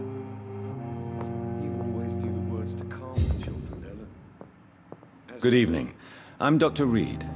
Can I help at all? No. Really? Why are you here then? I don't want to talk. My throat hurts too much. I suppose that this pain is the reason you're here. Is someone taking care of you? Yes. And no. Could you at least tell me your name, sir? Mortimer. Mortimer Goswick. How painful is your throat, Mr. Goswick? So painful I'd rather not talk at all, Doctor. I'm sure you realize a doctor and his patient have to communicate, sir. Would it help if I gave you some paper and a pen? Not really. I see. Then maybe it's not just your throat that hurts, Mr. Goswick. Perhaps your sore throat is just the consequence of something more hurtful. Yes, maybe. But I don't want to talk or even write about it now. Why did your mother have you hospitalized here? She seems convinced this is a bad hospital. My mother just wants the best for me. She won't rest while I'm here. She'd go all the way to hell and back to help me. Is your mother bothering you? As your doctor, I can ask her to leave you alone if you would prefer. That's tempting, Doctor. But you have no idea what my mother is capable of. She would tie herself to my bed if you asked her to leave. Pembroke Hospital may look unorthodox, but rest assured you're in good hands here. It's not me you have to convince, Dr. Reid. It's my mother. How painful is your... So painful I've... I'll let you get some rest then. Good evening, sir. Doctor. I will not let you down, my boy.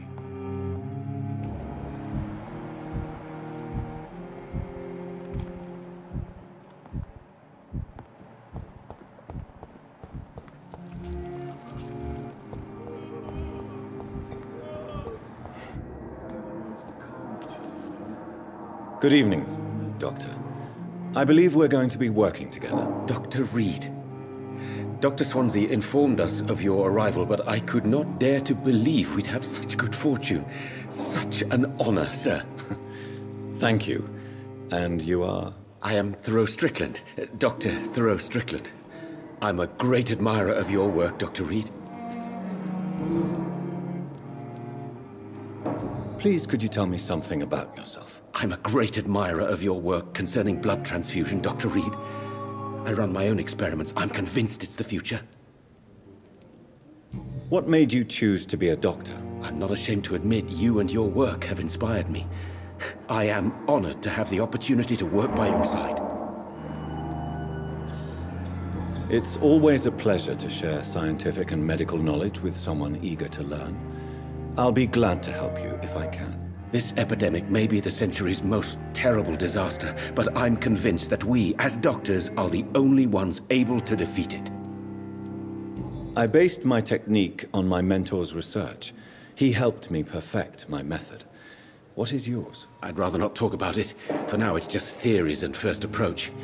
My process is purely experimental and unsuccessful. As long as you're cautious and methodical, you may remain empty-handed, but you won't fail. You're not the first one to warn me.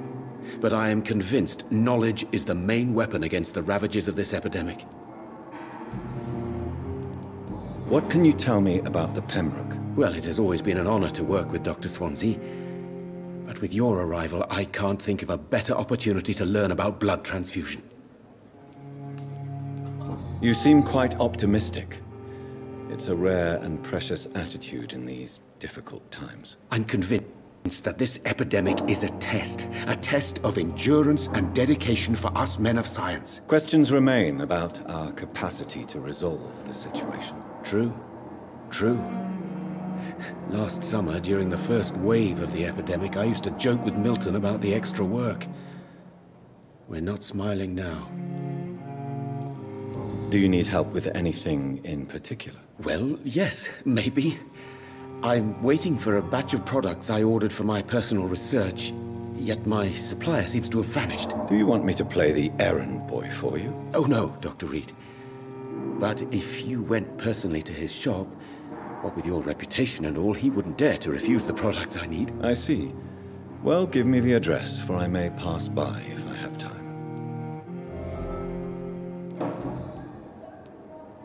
What do you think of Dr. Ackroyd's aversion to modern medical methods? It's a shame he's so narrow-minded. Dr. Swansea taught me that science is about exploring uncharted territory. I'm convinced that's true. With the influenza and all that's going on, you should put your differences aside, don't you think? Why is it so difficult to work together? I believe that if Dr. Ackroyd had been the one to discover the transfusion process, he would be the first to recommend its use. So you believe it's just a question of jealousy and pride? Dr. Ackroyd is as proud as he is blinded by his obsolete concept of medical science. Tell me more about your willingness to experiment with new medical techniques. Harvey Fiddick is a patient suffering from a severe injury that could cripple him if not treated correctly. I'm convinced your blood transfusion technique could help him. What is it you really want? To save him? Or to prove your point? Fair question. I want nothing but to save my patient, Dr. Reid. Especially since I know Mr. Fiddick's story.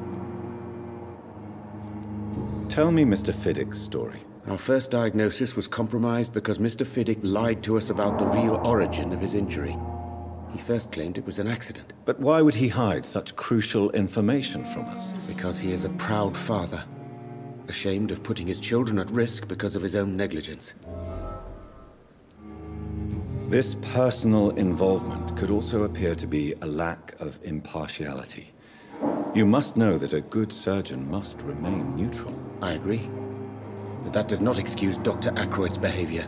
A man who did not even take time to converse with his patient. Do you think keeping his distance was a mistake? All I know is that I'm taking care of human beings with desires, hopes, and fears.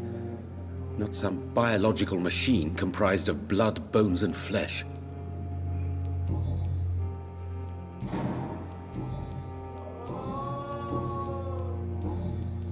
Goodbye, Dr. Strickland.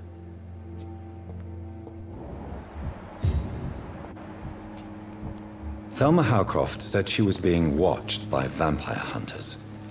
Where are they hiding? I should investigate.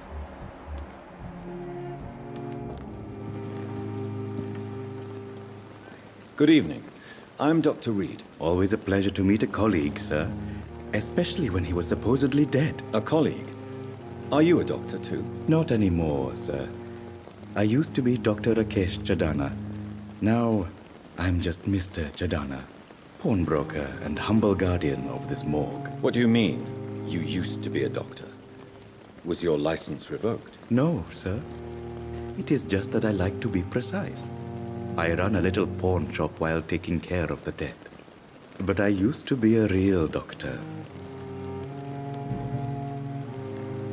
Are you afraid or uneasy being surrounded by so many corpses? Why should I? These bodies are empty vessels. Flesh left to decay. Poof. No soul anymore. All gone. An interesting point of view. And quite an exotic one, too. Most people fear, or at least have a respect, for dead flesh. Sir, as a medic during the war, I learned to face my death and the death of others. It's the pain we have to tame, not death itself. How did you get this job? After I left the army, I worked as an undertaker down by the docks. A dangerous place with many an unpleasant business there. Milton Hooks helped me get a job here. Do you work here alone? Yes, very easy work, sir. All I have to do is watch a few bodies. The situation was very different when the main morgue was still open. Why do you have to watch these bodies? Because these poor fellows have no names. We keep them in case someone comes looking for the missing. Sadly, very rarely happens. Why close the hospital's main morgue? It was for sanitary reasons after the beginning of the epidemic. Cadavers had to be moved to the nearest mass grave. Have we met before? I don't think so, sir. Why? When we first talked, you said you were glad to meet me since I was reported dead. Funny story, sir. Your sister came here a few nights ago. You were missing, and she was looking for your body. She must be very relieved now. A pawnbroker? I expect you get all types of people here. Yes, sir. All kind of people. For I sell all kind of goods. Who comes here to trade with you? It's very unhygienic, even unsafe. Diseases can spread. For the customers, for the hospital. I'm very cautious, sir. I've been a doctor, remember? And all my clients are good people. In fact, I think I only know good people. What kind of goods? With the quarantine, it's not always easy to buy things. So I trade, I exchange. Some people sell, some others buy. I like to help. Since you're not afraid of dying, do you believe in life after death, Rakesh? No. I believe we must do all the good we can while alive. For our time is short, and the obstacles are endless. Do you think you would enjoy immortality as a concept? I don't think so. Don't mistake me. I love life, and I'd like to live a long life. But everything has to decay, sir. Even goodwill.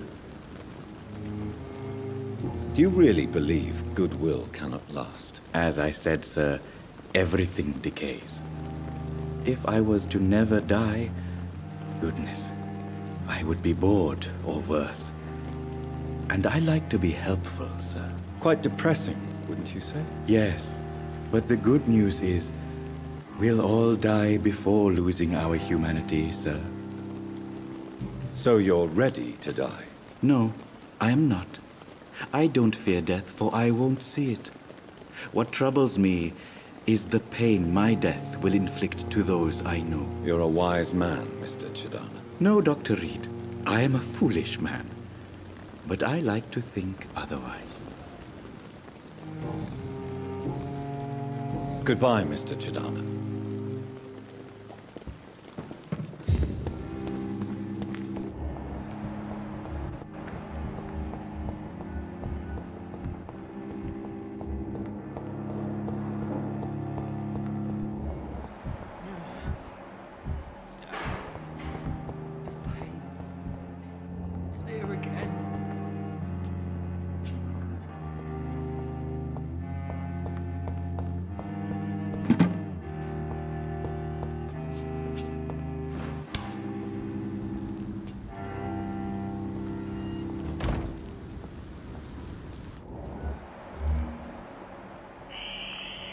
Voices in the garden.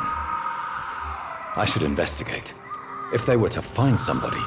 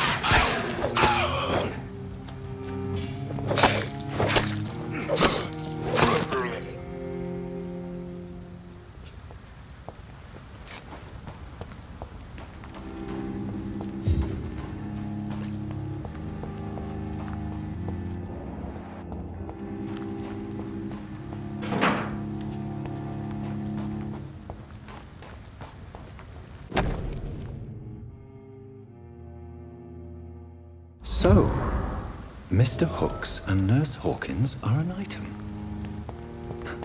Those two have hidden their affections well.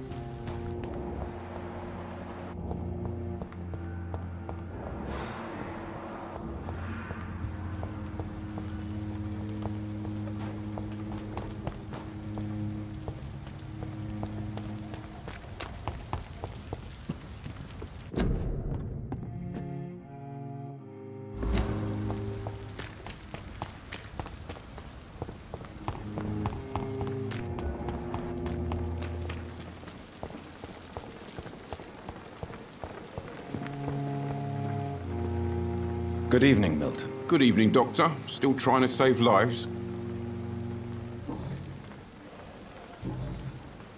I have some good news, Milton. What? The epidemic's over? I retrieved your wallet with all the money and a certain picture. Well, yeah, Pippa Hawkins is my girl. So what? Is it the difference of skin colour that bothers you? Not at all, Milton. Good. Please, take this money anyway. To remind you to keep your mouth shut. Not everybody is as broad-minded as you, Dr. Reid.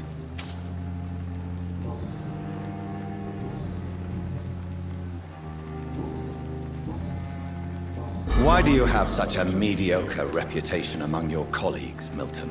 Fuck them. Nobody knows the horrors I've seen since working here.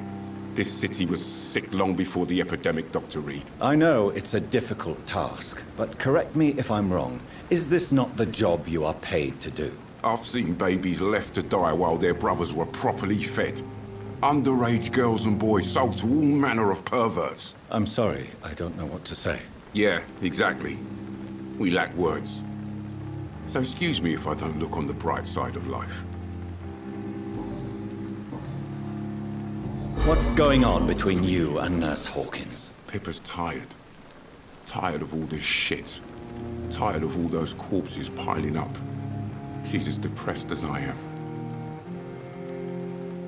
During the war, I witnessed a few couples, just like you, come together in difficult circumstances.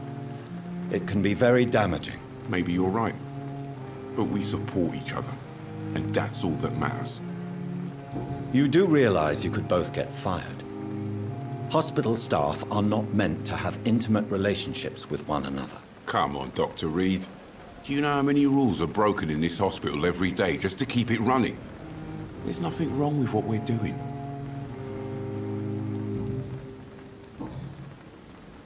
Goodbye, Milton.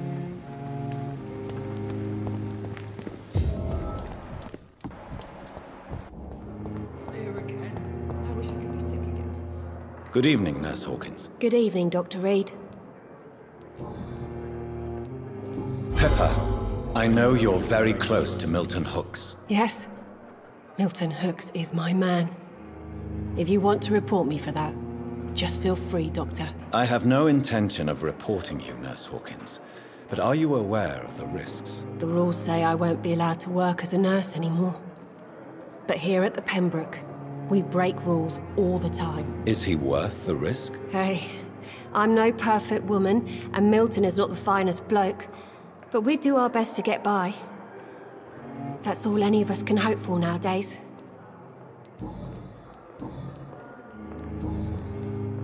Goodbye, Nurse Hawkins.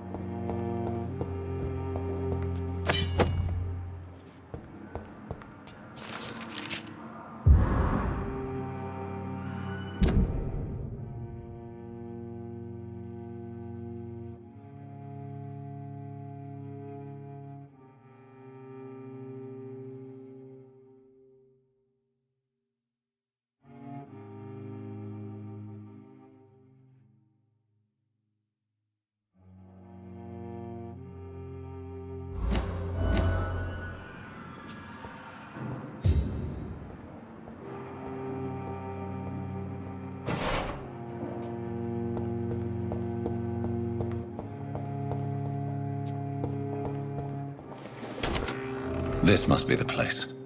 It's definitely away from prying eyes. Relegated to the shadows. A kingdom of my own. At least I won't be sleeping in a coffin.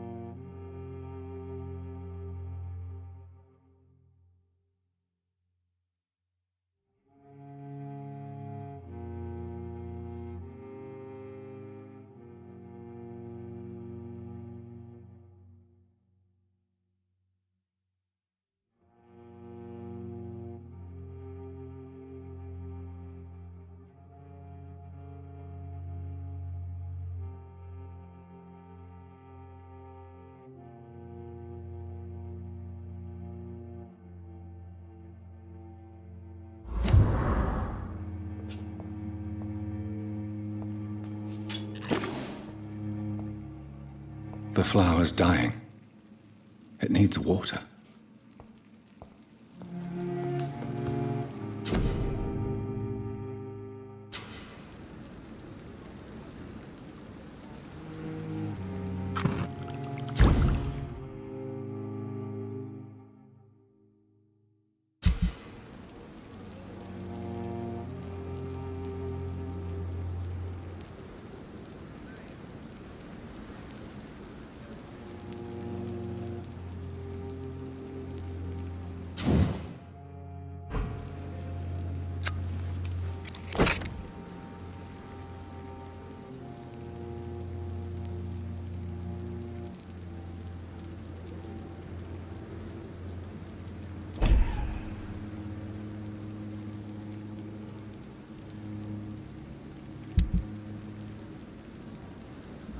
William Bishop's blood is much more unstable than human blood and shows extensive mutation. But this is not what happened to me. I must keep on searching. The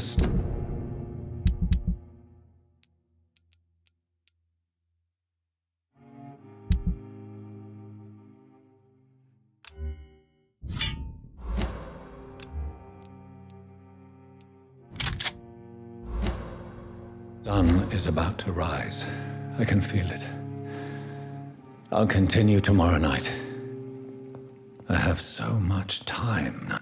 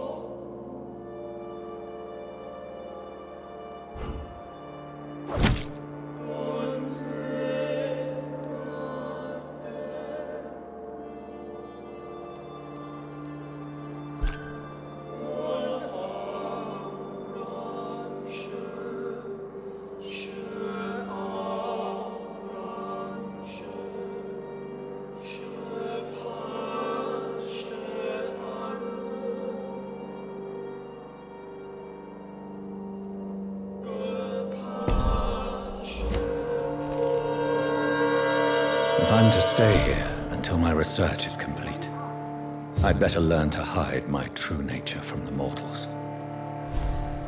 But what about my thirst for blood?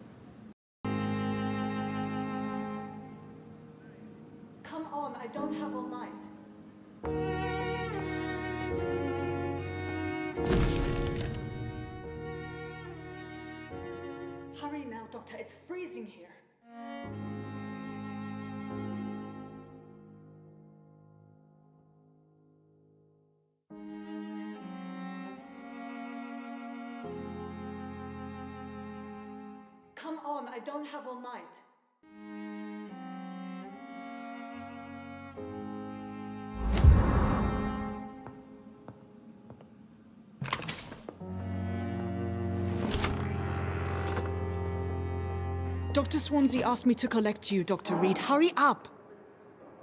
Yes, Nurse Crane? How can I help you? I'm so sorry. I know Dr. Swansea wanted you to rest, but we have somewhat of a crisis. A crisis, you say? Our supply of antiseptics is nearly depleted. I was hoping there was another box up here, but...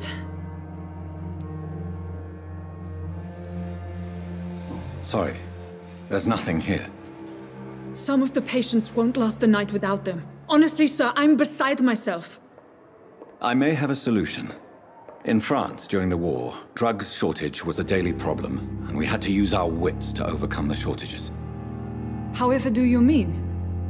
If combined correctly, certain household chemical products can be used in a pinch instead. Now, where's the hospital storeroom? The storeroom? Fat chance. This is the Pembroke, and space is luxury we don't have. Everything used to be stored in the old morgue. Perhaps I should look there first. Where is this morgue? It's the large building behind the hospital. You'll need to go in the back door because it's been sealed off for sanitary reasons. Take this key. It opens a small back entrance at the end of a narrow street. The abandoned morgue behind the hospital. A small door at the end of a narrow street. On my way then. Thank you, nurse.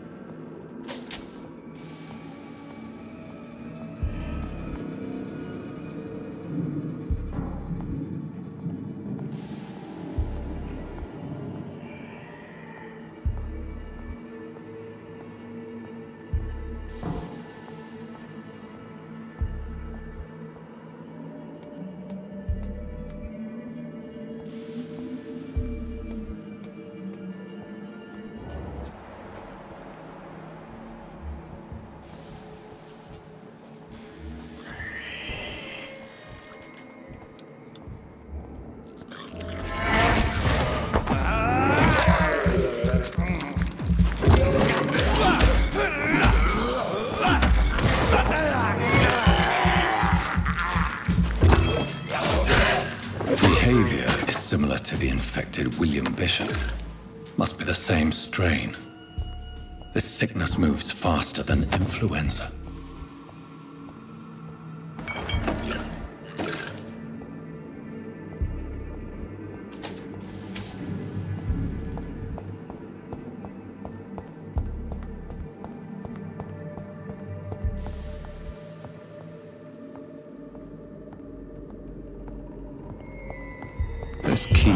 Surely grant me access to the basement.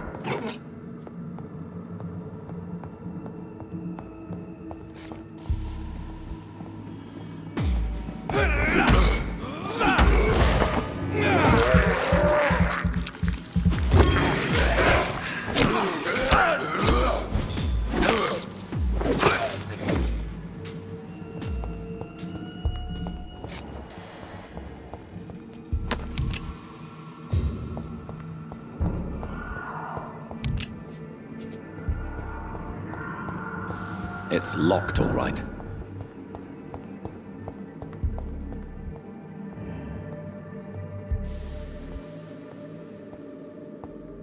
Balls of Mars. Fortifiers. as popular as they are ineffective.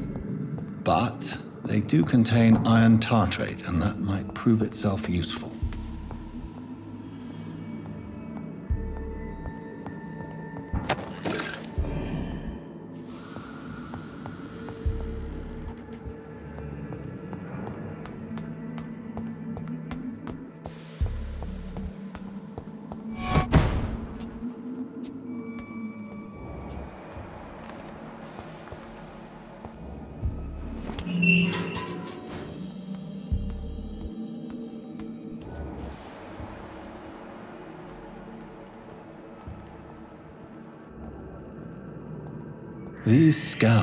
Feed from corpses and the husks of animals. And our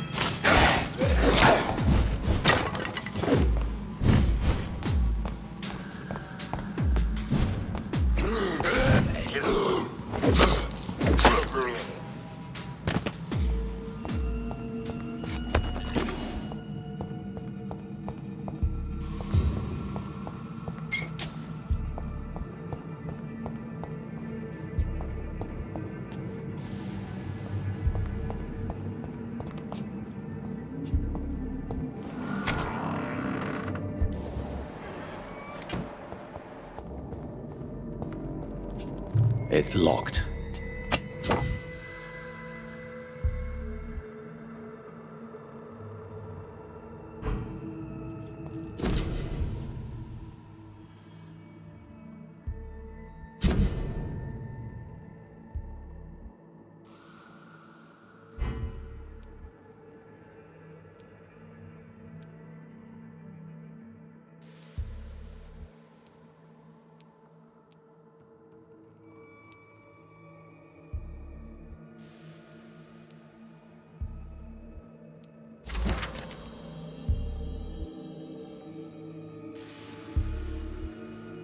Mr. Connor's injuries don't match the report. I'd better look into this.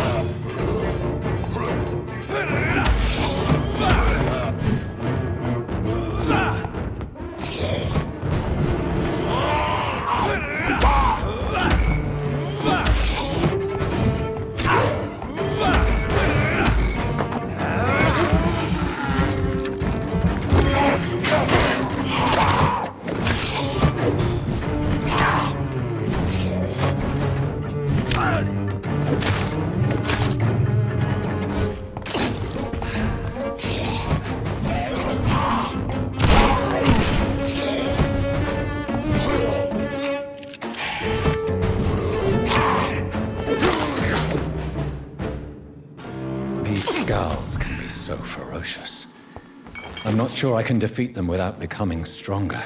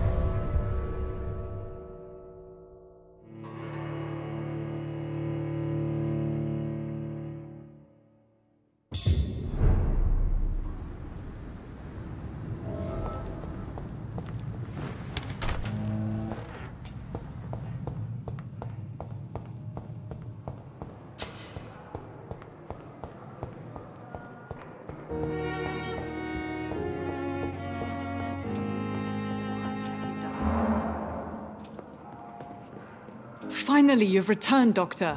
Did you find anything of value? Yes, nurse. You've worked your first miracle, Doctor. Now, this patient here needs immediate treatment. Duty calls. When the storm has passed, I'll show you how to mix the remedy yourself with the same basic ingredients.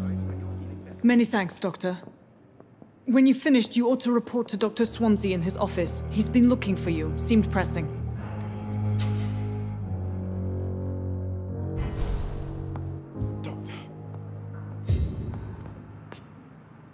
Good evening, Mr. Goswick. How are you? I'm okay.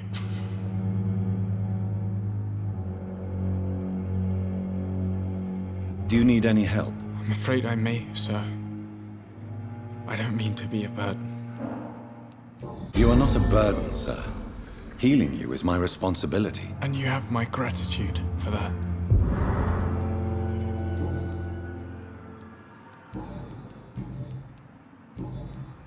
I have to go now, sir. But don't hesitate to contact me if you need any help. I'm alright. Don't waste your time with me.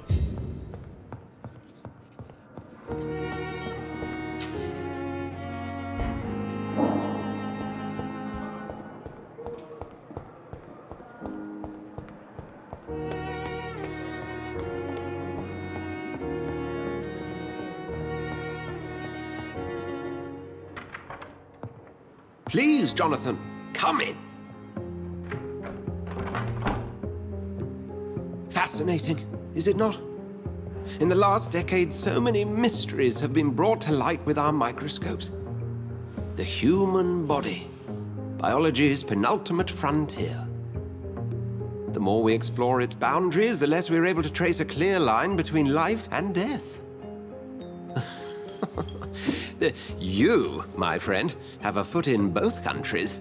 The view must be vertiginous. It's at least as vertiginous as chatting about vampires with you, I would say.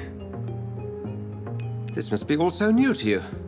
This area of town, the hospital, a brand new life. How stimulating it must be. I wish I could share your enthusiasm, Dr. Swansea. But my condition defies scientific categorization. Undead? Unalive? Immortality defies logic. I cannot express my thrill at this serendipitous turn of events. The world's most eminent specialist in blood transfusions, a vampire. One might say a gift from heaven. It may seem strange, but your words have brought me some comfort here. Forgive me. I've been an admirer of your work for a long time, and now you are so much more than a brilliant physician. And please, call me Edgar. There is no need to apologize, Edgar. You offered me sanctuary when I had none. Very well. I have a task for you, Jonathan. Something that will require all your newfound skills. Please, go on. The Pembroke only survives through the generosity of our benefactors. Unfortunately, our main donor has found herself in a bit of a bind. Now, if you could help her out... A spokesman or politician is what you need. That's not my calling. And until I come to understand what has happened to me, I require discretion. Discretion is in order, Jonathan. Lady Ashbury has recently received rather indelicate correspondence that, if revealed, would jeopardize her position. And you would like me to eradicate this threat? By the stole, of course not. I would just like you to pay her a visit. Her ladyship is certainly near the tents outside, tending the sick. You can't miss her. Look for someone impossibly delicate. Accepted. I'll see what kind of trouble Lady Ashbury is in. Do you need something, Jonathan? I have just a few questions. Then ask away. I'm at your service, Doctor. You mentioned something about a secret society. A brotherhood, if I recall. Could you elaborate? Certainly. I've been a member of the Brotherhood of St. Paul's Stole for several years.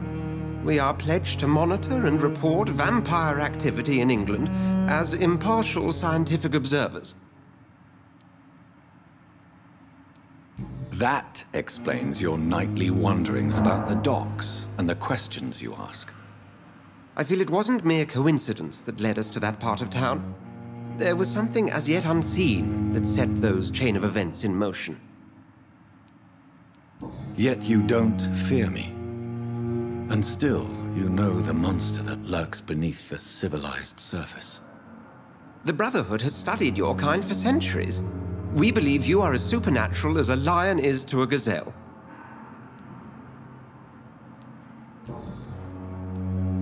Since I'm the one working for you, what should I know about Pembroke Hospital? Well, for many years, we have been the only medical facility in this part of town that people can rely on.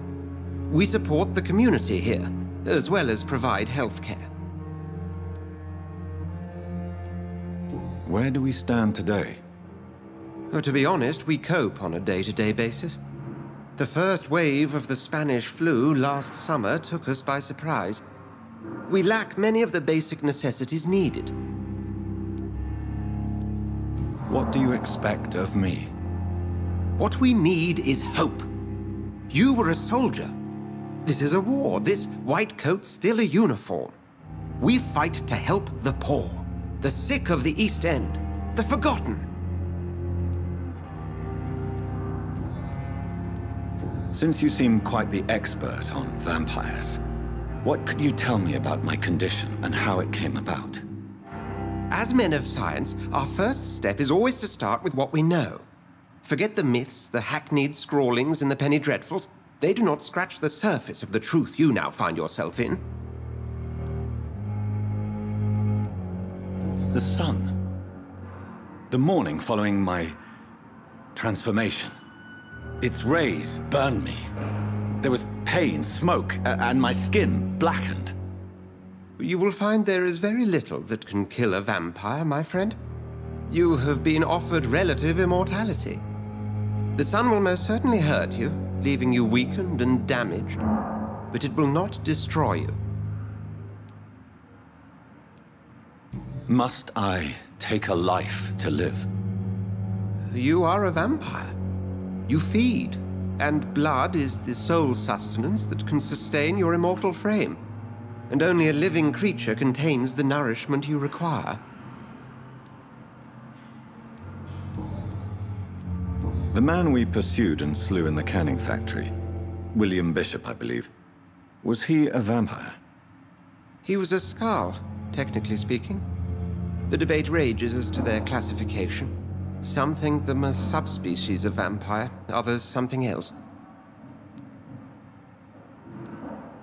Where do how do Skals come into existence? The name means slave. The etymology may indicate that they are a lesser species of vampire. From what I know, vampires tend to despise them.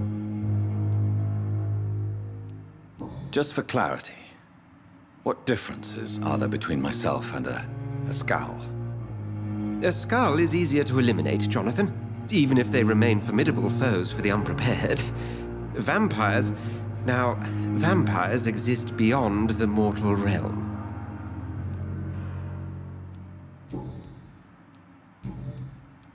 We'll see each other again soon, Edgar.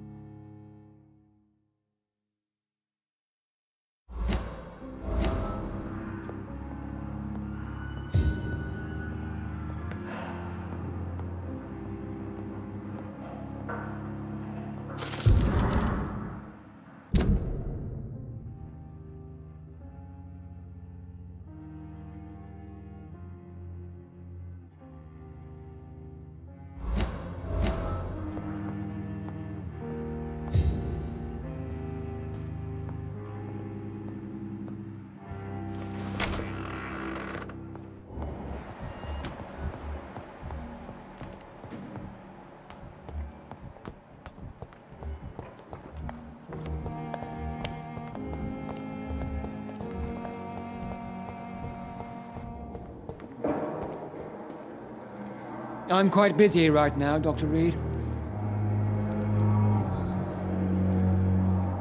Tell me, Waverly, what do you think of Dr. Strickland's enthusiasm for his experimental research? Strickland is playing with his patients' lives for pride and glory. Now that, sir, is unethical. Are you thinking about something in particular? Harvey Fiddick needs delicate surgery. I believe we should stick to the usual procedure but my young colleague obviously disagrees. And are you not afraid that your rivalry with Strickland may be blinding you? Rivalry?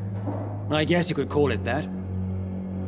But I will never be childish enough to let my personal feelings affect my judgment. Why do you wish to lead this surgery? I strongly believe that Mr. Fiddick should not be butchered to test an unproven procedure. Other people may say that's too conservative a point of view. Conservative? And what are you going to say to Mr. Fiddick if he loses his arm because of the operation? Because that's what's going to happen if the surgery is a failure.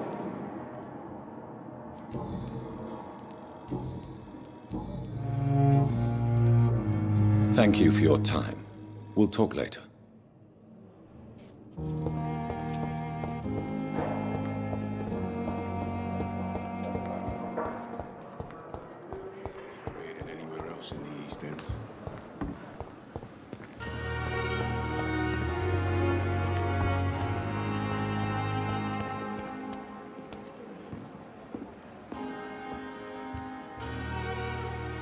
Took my dear wife, Emily.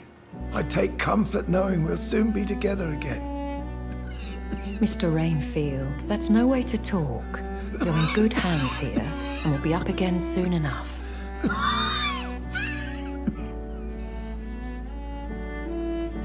Now do me a kindness and get some sleep. I'll be back round later. Your words are kind, the blessings of an angel. You're the sweet, sweet lady of mercy.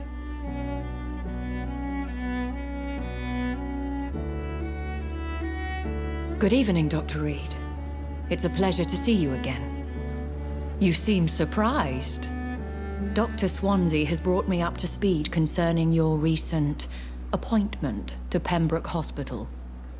You're a vamp... The lady who saved me that night. Before vanishing into thin air. I remember you from the pub with Dr. Swansea. Indeed. Allow me to introduce myself formally this time. My name is Lady Ashbury. I remember you well, in spite of the brevity of our encounter.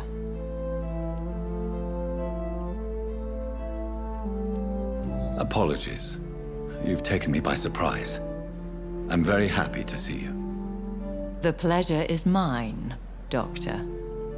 I hope you're more disposed to answer my questions now. You must have countless questions, but our rather urgent matter first. Swansea has explained. My cover, if you prefer, has been compromised. Have any of the patients given you trouble? These poor souls have so little left to live for. I do my best to ease their pain. The world would be a better place if it were cared for by women like you. You make me blush. I am simply a necessary evil. Pardon my boldness, your ladyship, but I have questions concerning this condition we share. As a newborn, your hunger for answers is rivaled only by your thirst for blood. But the questions need weight. I'm a scientist. My trade is in the deciphering of mysteries, and I need information to feed my mind. I will gladly answer every question you have, but first, prove yourself capable of resolving my predicament without eating the culprit. Dr. Swansea has commissioned me to be your agent in this matter. You could start by explaining what's amiss.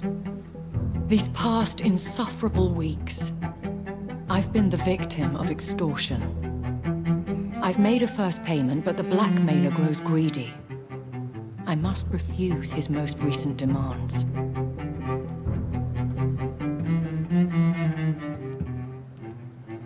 Who would be so foolish as to threaten you? A kindred spirit. Even if it were the case, and I highly doubt it, a vampire would have asked for something more valuable than money. My suspicions lean toward a patient or their family. Please continue. Every detail is essential. I'm your man. My embarrassment in this matter is eclipsed only by my shame at having put the hospital at risk. The threat from our anonymous scoundrel is clear. A list of dates. My visits coinciding with the dates of suspicious patient deaths due to massive blood loss. I'll take care of it. Do you know where I should start? If that was the case, I'd settle the matter myself. You could talk to our local gossip, Harriet Jones. Not a pin drops here without her hearing about it. I'll meet that woman now. My life, as others know, is in your hands, Dr. Reid. I'm sure of your discretion, but I do fear your powers of persuasion will be put to the test. When this is resolved, I'll be your obligé. I'll answer all questions in regards of your condition.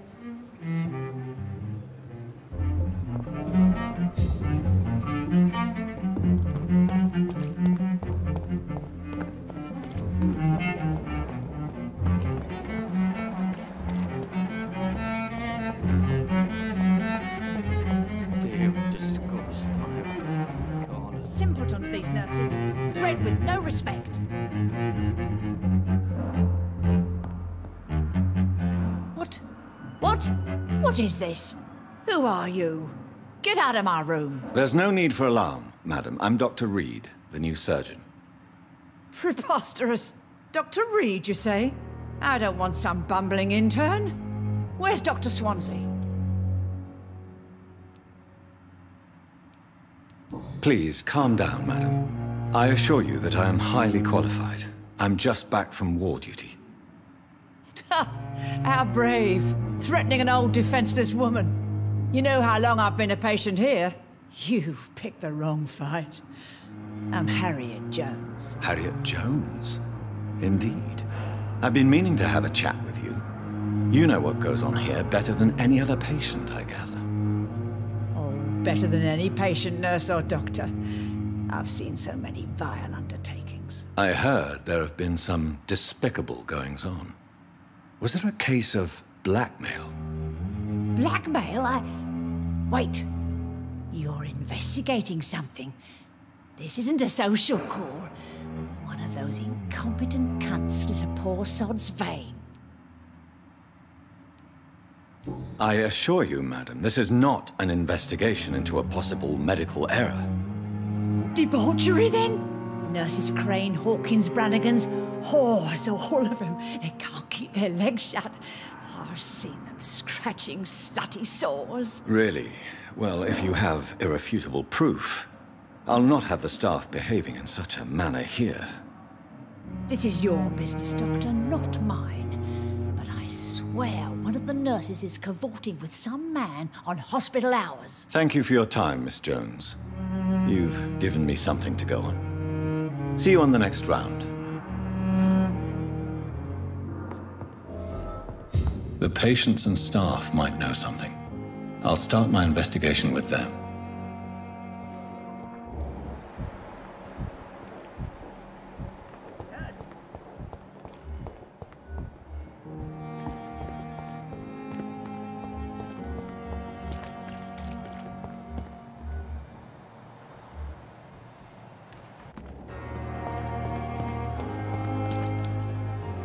Good evening, Nurse Hawkins. Good evening, Dr. Reid. What can you tell me about the strange man visiting one of the nurses during her shift? Let me guess. You spoke with that old shrew, Harriet Jones. Do not pay attention to her, Doctor. She's full of fanciful tales. She could have been telling the truth about the mysterious man. That old witch will end up in hell soon enough. Who cares if a nurse finds some happiness where she can? No matter how you feel about her, Miss Jones deserves our help. Who says I don't care for her? Hate is what keeps that old crone alive.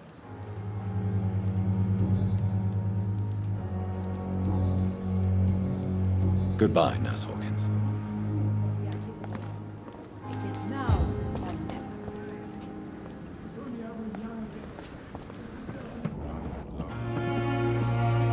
Good evening, Nurse Brannigan. Good evening, Doctor. Have you seen a strange man visiting any of the nurses here? I've never heard of such a thing, Doctor. Do you know if any of the hospital staff have criminal backgrounds? The people who work here all come from very different backgrounds, Doctor. Just like the patients.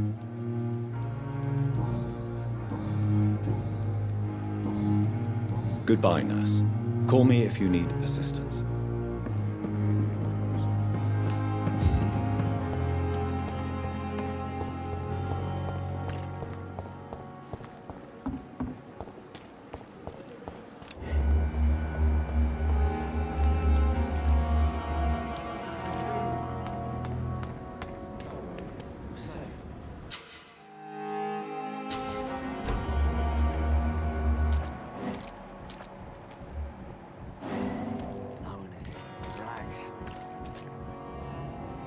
You're sure you don't come back with me? Nah, I ought to see someone at the hospital. Be careful. You look so bad they may keep you as a patient. Fuck 'em. I don't like hospitals. Or doctors. Well then, when you go back to Whitechapel, you may find this useful. What is it? A pass for a free medical exam by the best nurse available. Just read it. I don't read well, but thank you, I guess.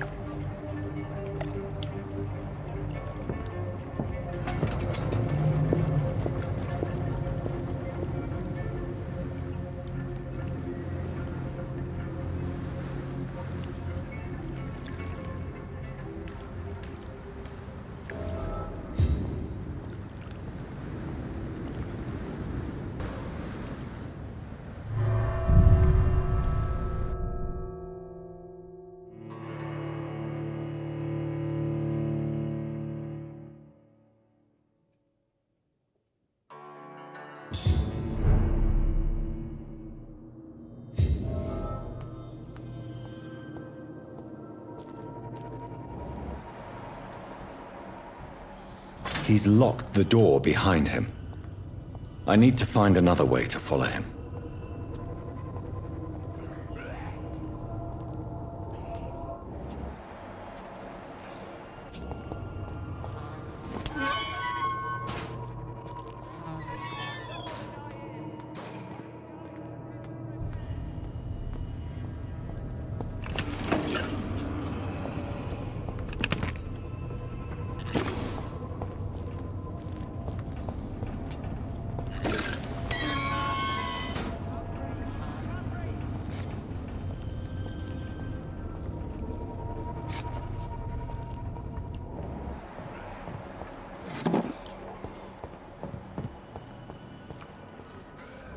This man has been savagely attacked and dragged to the floor.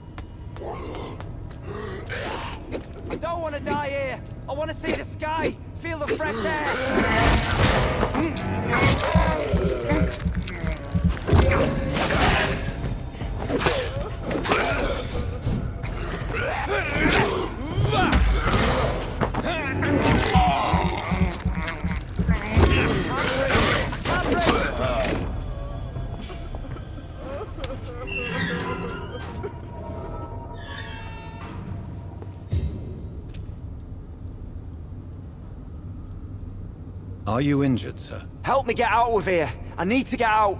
I'm Dr. Reid, and I'd be glad to help you, but you must calm down first. Please, take a deep breath and tell me your name. Okay. Okay, I am Oswald Thatcher. Please, I need to get out. All right, Mr. Thatcher, you're safe now. Do you think you can reach the street by yourself? Yes, yes I do. Good. Now leave this place and enjoy the cool night air. It's quite invigorating. I'm sure you'll feel better if you do.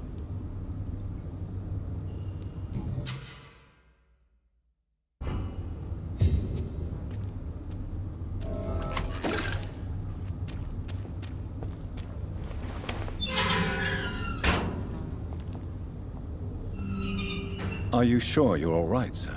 Yes. Yes, I'll, I'll be. As soon as I can see the sky again.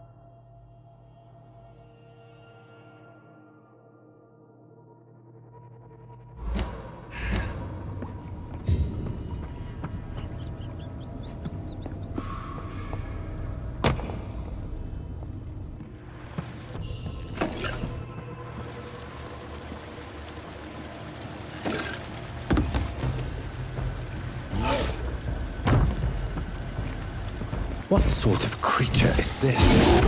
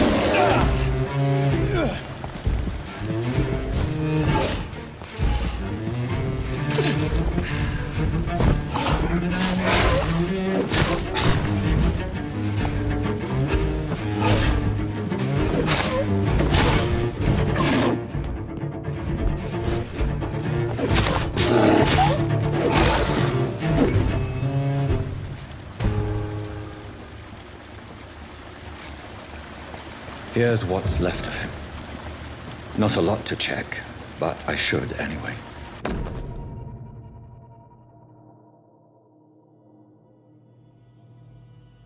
Some voucher for a free checkup in Whitechapel. What is Nurse Crane up to? I really must find her.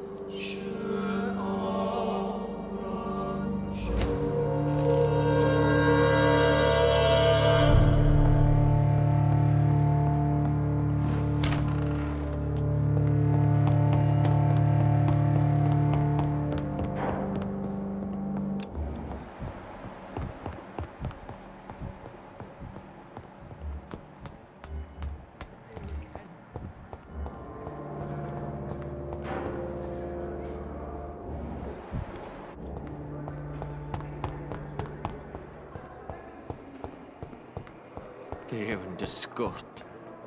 Good evening, Mr. Elwood. Evening, Dr. Reid. Why do you feel responsible for the injury, Thomas? What really happened? I wasn't disfigured by any German shells.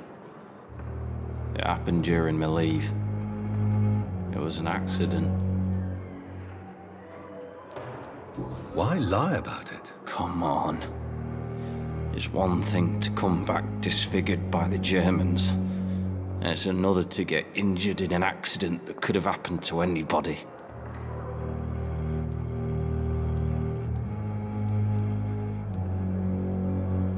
Reconstructive surgery has been very successful for some soldiers. I don't want to wear a bloody mask for the rest of my life.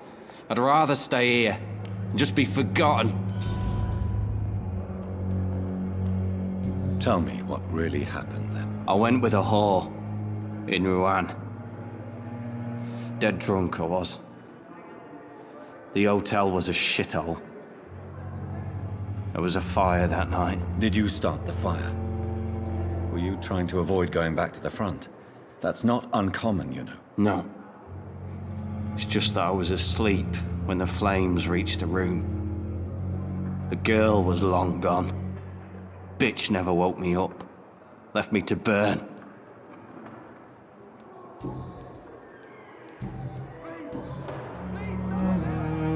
Goodbye for now, Mr. Elwood. Fear and disgust on every street corner.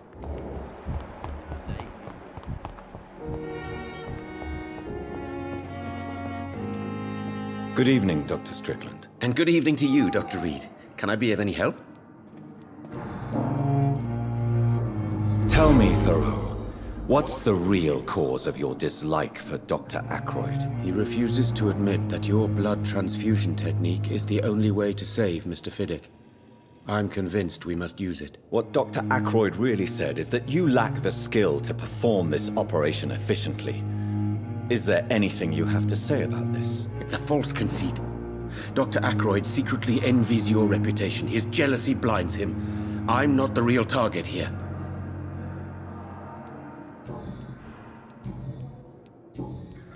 Goodbye, Dr. Strickland.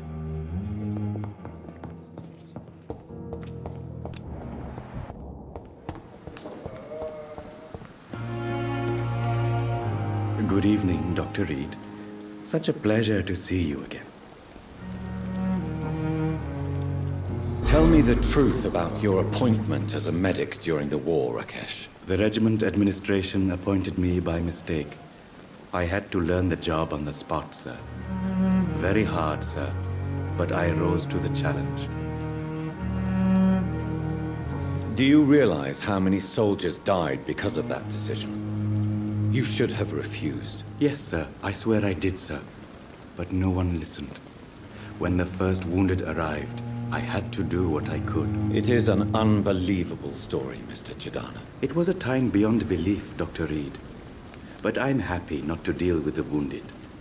I prefer caring for the dead now. You can't impersonate a doctor. You can't improvise a medical education. People could die at your hands. You're absolutely right, sir. But as a field surgeon, it was more like being a butcher. Do you believe you have really helped these people? My ratings were within the averages of the regiment. I saved lives, Dr. Reid. Does that not say enough about triage and war surgery?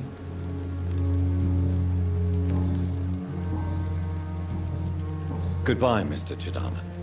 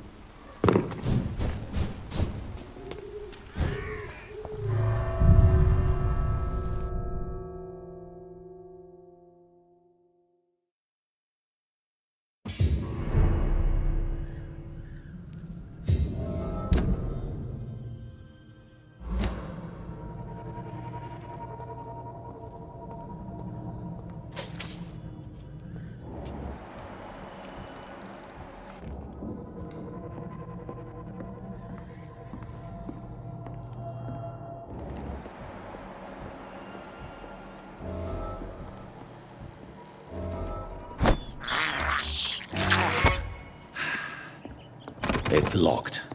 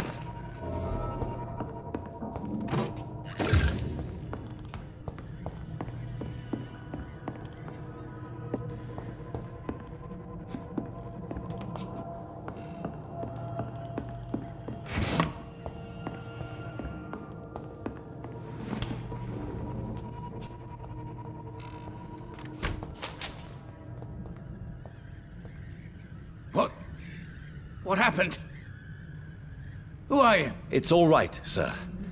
You're safe now. Oh, a fellow Englishman. Thank you, sir.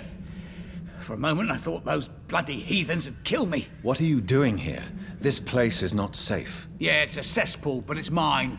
I came to collect some overdue rent, but those who still live here have gone completely bonkers. You're very lucky to be alive. Yeah, filthy immigrants. Fucking savages, every one of them. And now with this bloody fever, they're just animals. You can find safety of sorts in Whitechapel.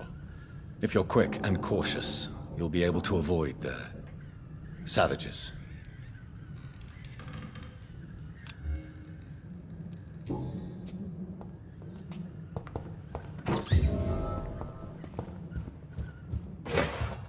This is Braille. I need someone who can read this.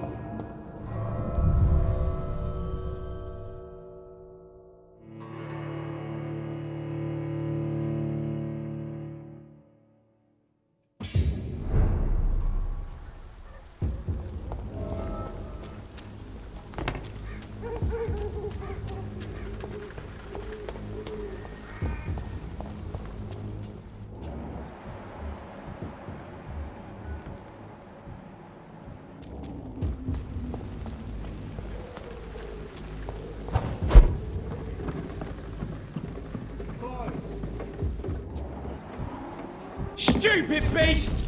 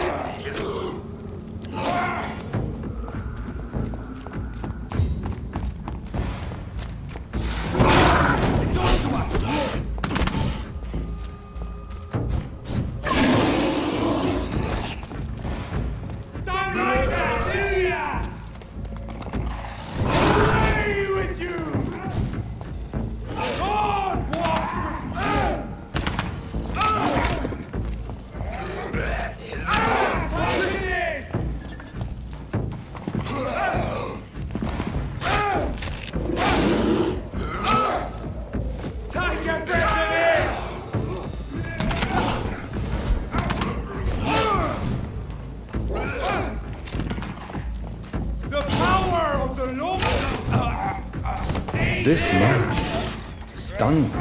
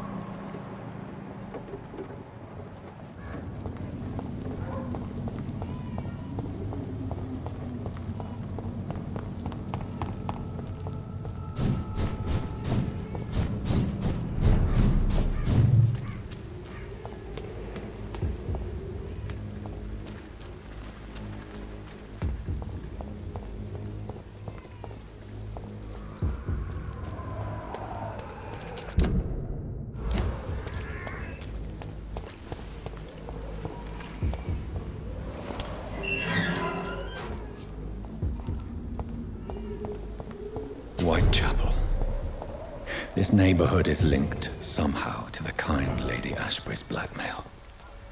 First,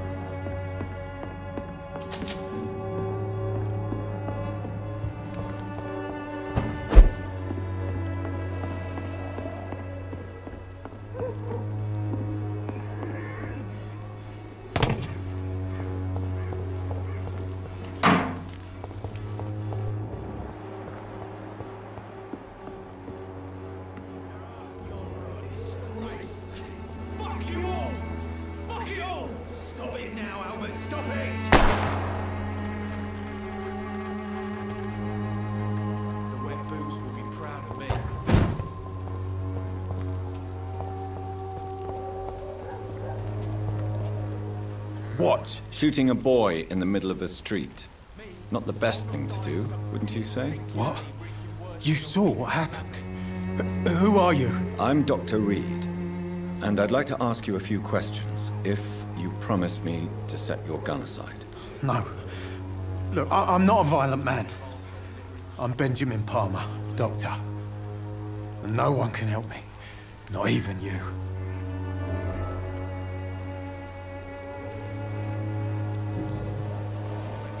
What can you tell me about this place? Nothing to say, really. This is where I used to live, and this is where I live now.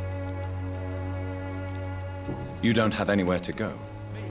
No family that would welcome you? Not since the death of my wife, Albert's mother. She was sick, you see. Long before the flu and all this shit. You mean you used to have a better life? Yeah, I had a wife, a home, and a job. I even used to have a name. And now I'm just Ben. Ben the Tramp. Perhaps you could focus for a moment and tell me your troubles. I'm sick, broke, and my son just stole my pills. Everything's coming up roses.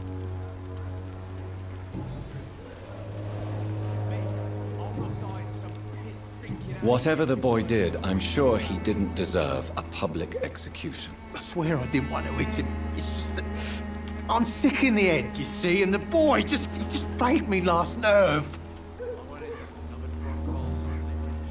Do you know Nurse Dorothy Crane from the Pembroke Hospital? Have you heard anything? It's funny, I've been searching for her too. I need some pills. But the woman is a phantom, if you ask me. Really? And why is that? Word is she ain't real. She's a cover for some doctor who runs an illegal dispensary for migrants. I have found a very interesting letter. Your son planned to prove his worth to the gang by stealing your medicine. Oh, I see. So the little bugger thought he could use his dad to build a reputation. The gang's recruiter was dead when I found him. Perhaps you should take better care of your son. I love my Albert, sir. Believe me. It's just... Well, I'm an arsehole, I suppose. Anyway, thanks for the letter. This is for your trouble.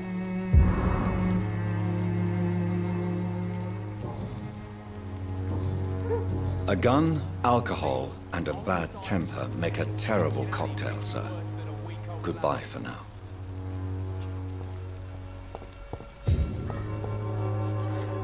Are you all right? The bastard hit the wall next to me.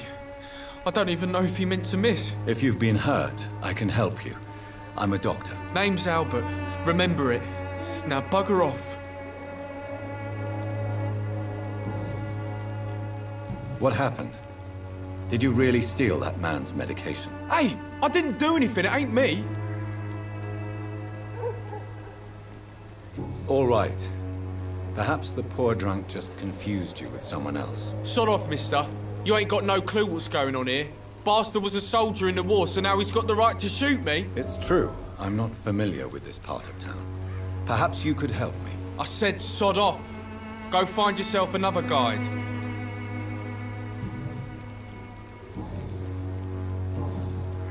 Do you know Nurse Dorothy Crane from the Pembroke Hospital? If you know anything about her, I'd appreciate it. Never heard of her. She's pretty, I'll keep an eye out.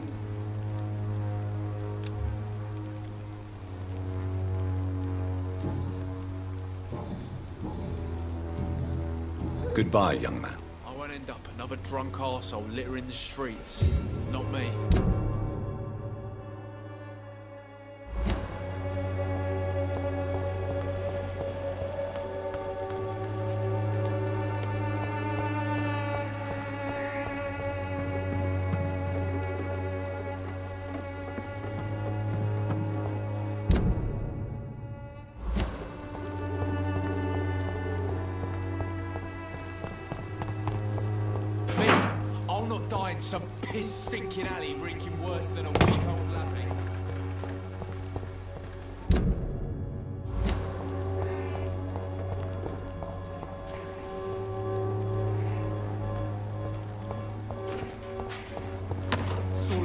joke to you,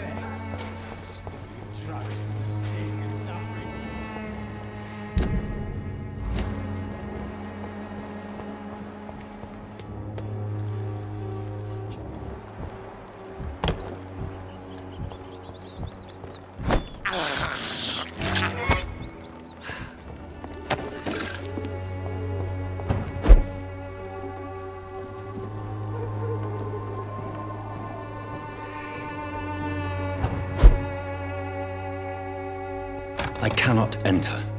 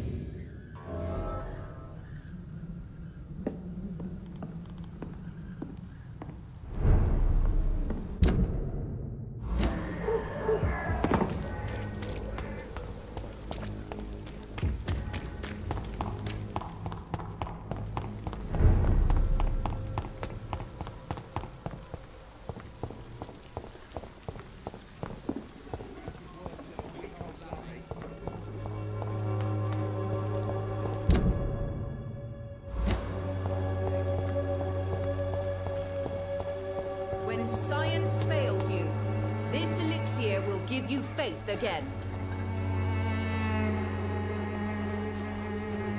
Good evening, miss. Good evening, sir.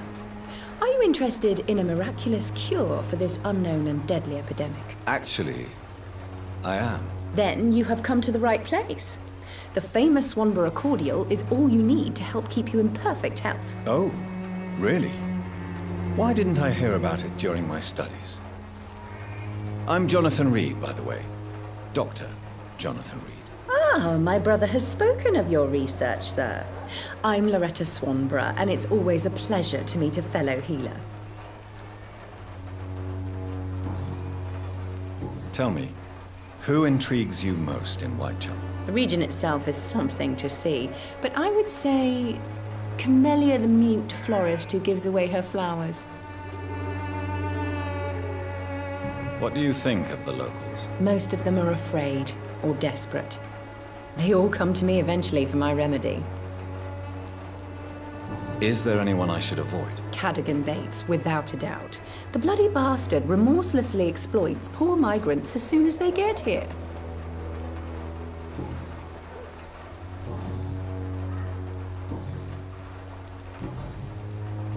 Do you know Nurse Dorothy Crane from the Pembroke Hospital? I'd like to know more about her. I don't like to talk about competition. Competition, you say? Never met her, but it seems she provides some sort of medical care to the poor. The whole thing has to be some sort of scam, if you ask me. I'd like to see what kind of medicine you're selling.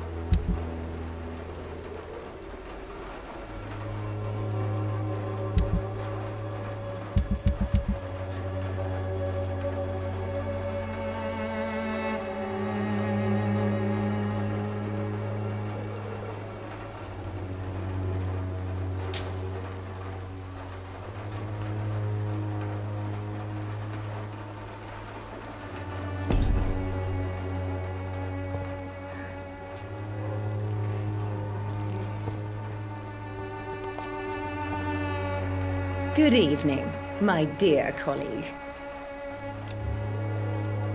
Goodbye, Miss Swanborough. Perhaps we'll talk again. Goodbye, Miss Swanborough. Perhaps we'll talk again. The Swanborough cordial can be the answer to all your problems. Good evening, Benjamin. Can I help you? I'm afraid not, Mr. Reid.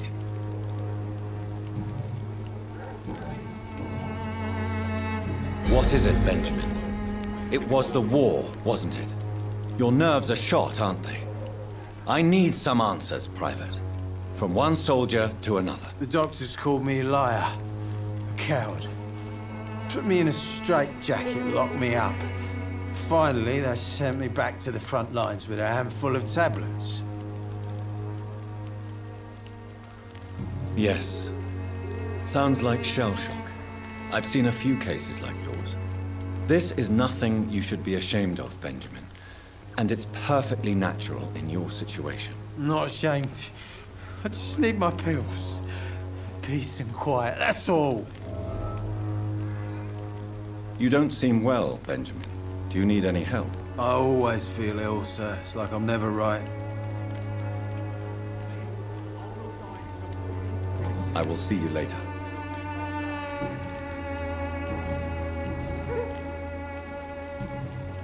A gun, alcohol, and a bad temper make a terrible cocktail, sir.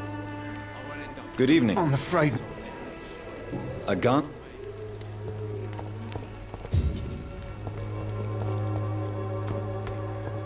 Its effectiveness has been proven by many. Even the flu is no match for the Swanborough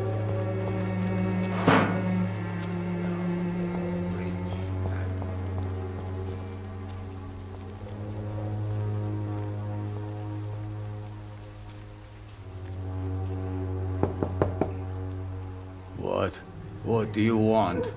Leave me alone. Good evening, sir. I'm Dr. Reid.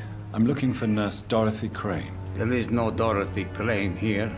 Now goodbye. I'm afraid this medical leaflet says the opposite, sir. Really? Well, I'm afraid I'm going to close this door right now. Go bother someone else, Mr. Doctor. To enter that house, I must discover who this man really... Is. I must insist, sir.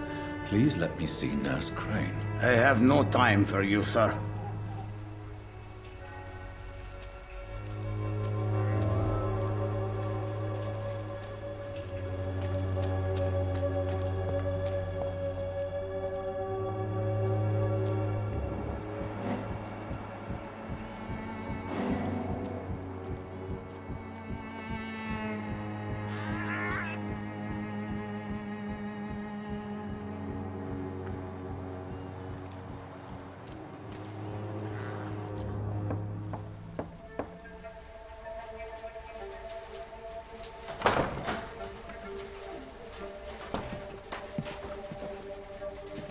Strange man was at the door with a pass for our medical facility. I refused him entry. Darius, how could you know he didn't need our help? His clothes were too finely tailored to be from Whitechapel. Perhaps just a friend of that stray poet who is always about. Richard Nithercott? No, not of the same cloth, this man. I suspect some machination from that journalist. Clayton Darby. Is he still asking questions? Yes. I saw him drifting around St. Mary's Church. I swear he is tracking me just downwind.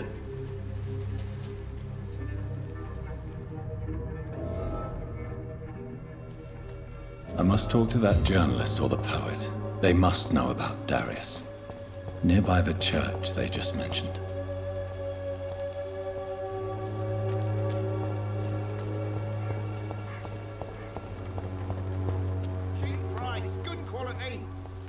Take a look. Don't be afraid.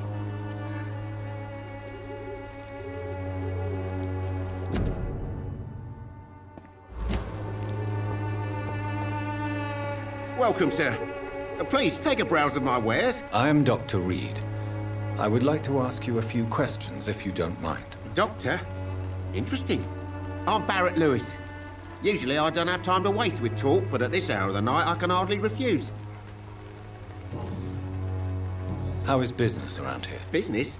I have no business. Between this racket, theft, and customers getting scared, I'm losing money every day. I see. Sounds like you blame someone in particular for your situation. It's no secret Joe Peterson spends his time harassing merchants. But with me, he's trying to put me out of business once and for all. As a merchant, you see Whitechapel every day. Have you noticed anything out of the ordinary recently? Well, you mean besides the epidemic, the war, and all the usual crap? As long as I can remember, this part of town has been a bottomless pit, and no sign of the bottom yet. Violence is increasing in the borough. Yeah. A few nights ago, some blokes jumped me. Came out of one of the condemned workshops. Fever, madness, something like that. Where did this happen? Why did you go there? In the closed workshops nearby. I worked there as an apprentice in better days. Now I only go to find trinkets or tools. Too bad I was mugged, though. There was good money in that little box of loot I lost. Have you been hurt? No, but that's only because I ran like hell. Those men were raving lunatics, I tell you. Not even able to speak anymore, just screaming.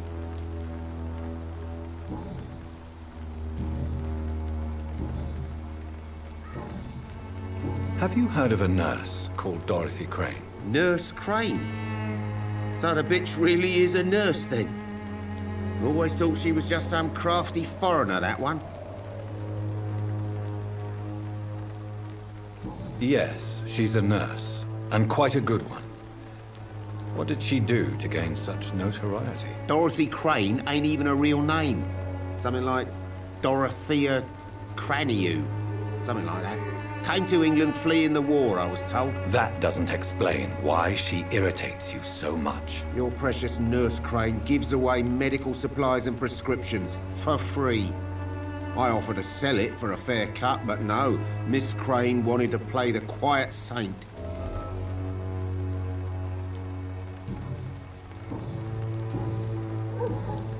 Goodbye for now, Mr. Lewis.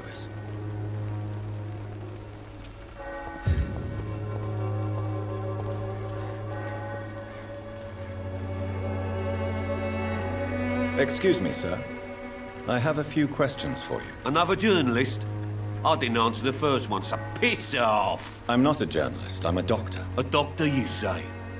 It's quite a rare breed in this part of town. Really? But still, here I am. Dr. Jonathan Reid, at your service. I'm Joe Peterson to some, but Colossus Joe to most.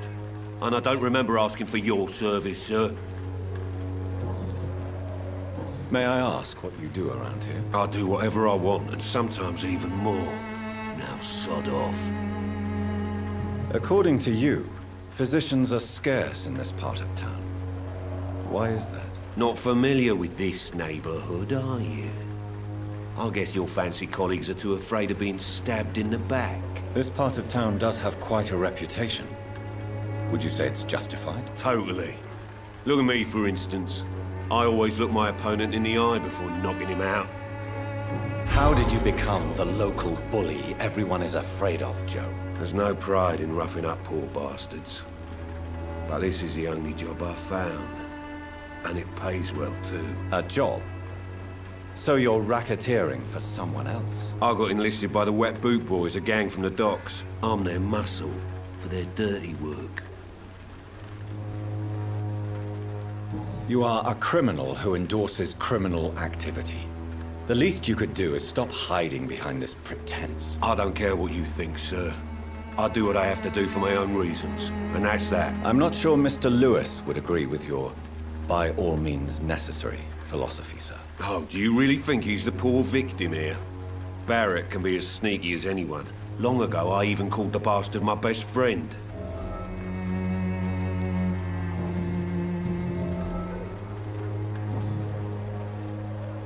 Have you heard of a nurse named Dorothy Crane? She's a colleague of mine, and is supposed to live around here. Dorothy Crane? Yeah, I know her. One of the few good souls who dare to help the sick around here. Could you please tell me more about her? She's a nice girl. Tries to help the migrants. I offered to give her a hand, but she said my reputation would attract too much attention. Goodbye, Mr. Peterson.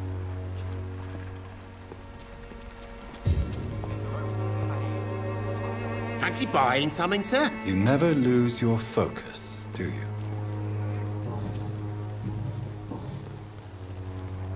Joe Peterson. He's the villain here, isn't he? But you seem to know each other. I've known Joe for years. I saw him box once or twice. He was a friend then. But these days, he's just another thug. What can you tell me about Mr. Peterson? Besides his behavior toward you, obviously. Colossus Joe was a decent boxer, good one even. But after his wife passed away, he found every excuse to stop training. Just wanted to pick fights with everyone.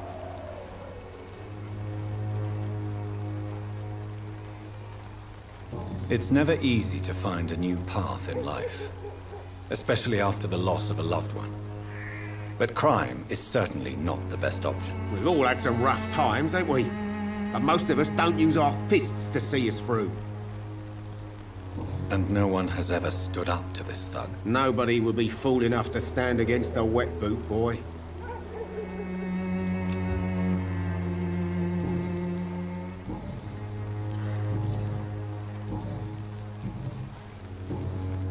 Goodbye for now, Mr. Lewis.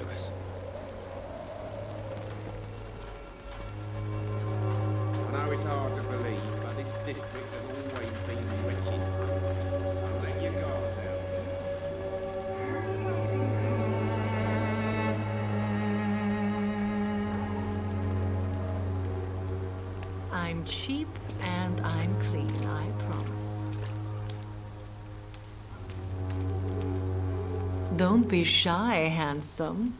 What can Christina do for you? I'm not looking for what you're selling. But I'd like to ask you a few questions, if I may. I'm a doctor. Dr. Reid. All right then, but be quick, though I usually get paid when I open my mouth. Do you need any assistance, Miss Popper? It depends on the price of your medicine.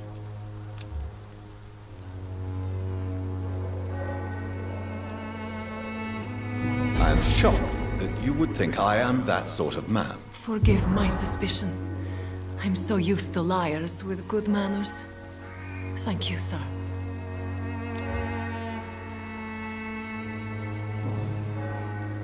Christina, have you been examined? The epidemic is spreading fast in London, and you could be exposed. Or expose others. I don't like doctors or hospitals, but I don't like you asking questions. Considering your line of work, I assure you it is only a matter of time before you have health issues. If it is going to happen, it will happen. Right now, I need money. That's what's important. You can put your own life in danger, that's your decision. But what about your clients? If you're contaminated, you will put them in danger too. And you think that would worry me? If you knew the men I deal with, their health would not be what you'd worry about.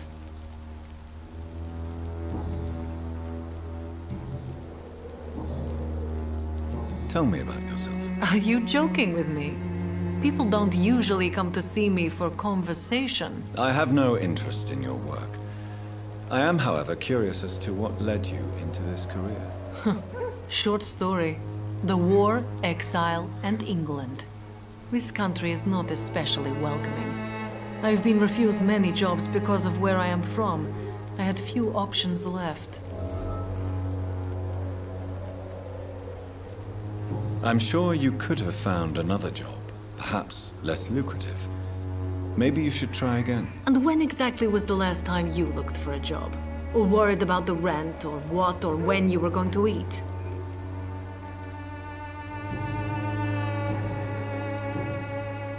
Do you know Nurse Dorothy Crane from the Pembroke Hospital? Anything you can tell me about her would be helpful. I don't know her, but I know her name is Dorothea Crasionescu. She came from Romania like me and many others. You seem to respect her. Dorothea helps the sick people of Whitechapel. Everyone should respect that. Goodbye, miss. Take care of yourself as best you can.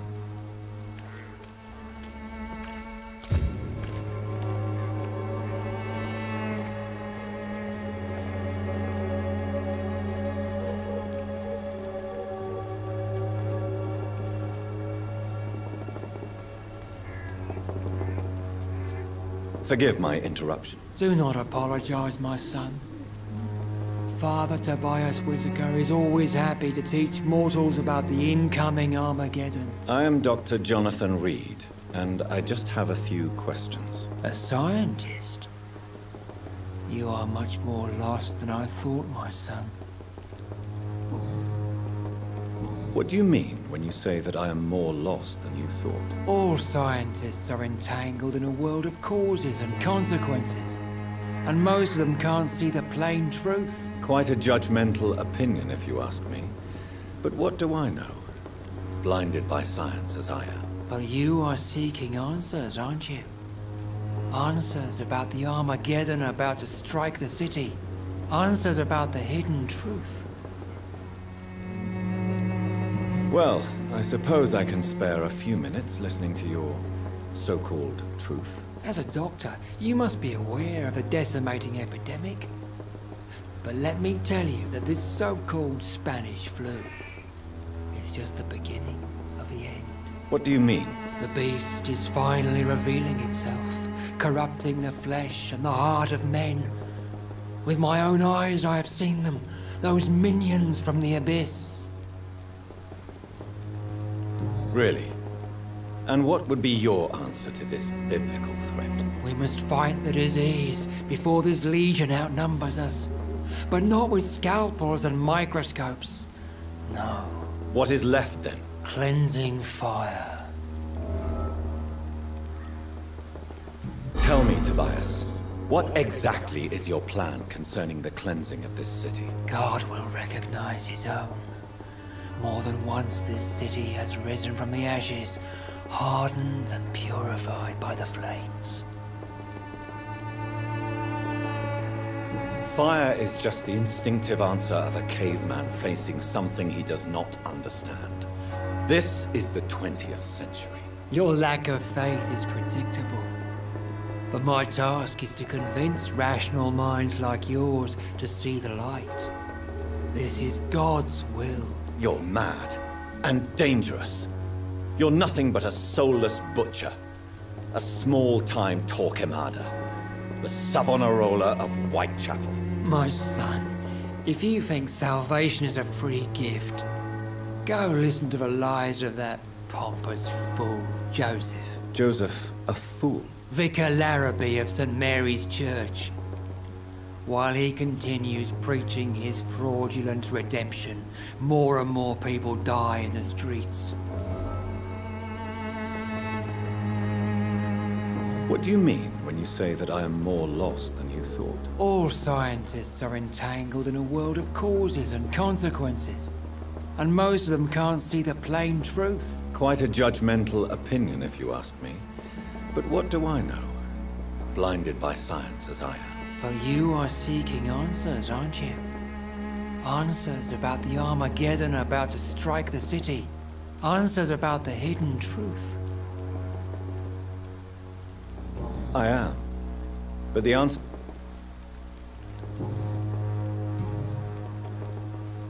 Have you any friends? Any family left in these terrible times? No. But I have a disciple I see as my son. He is so devoted. I send him to preach the good word in the heart of this corrupted city. You sent him on some preaching crusade during the epidemic. As a true believer, Samuel will fear no evil while he walks through the valley of the shadow of death. Where did you send him? I sent Samuel to the Stonebridge Cemetery, where the pestilence and evil grows night after night.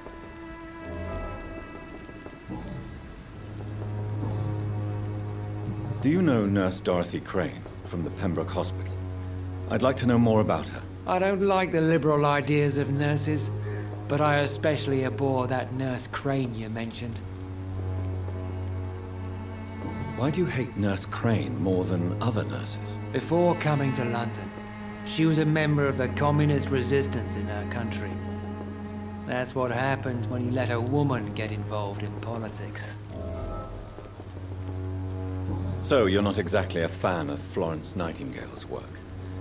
But nurses are essential for modern healthcare. Nuns should be the only women allowed to take care of male patients. It's obvious only they have the necessary moral fiber. I have heard enough for tonight. Goodbye.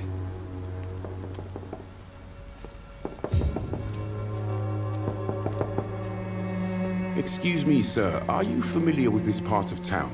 Name's Clayton Darby, reporter. Sorry, I'm new to Whitechapel. But perhaps you could help me since you're a journalist.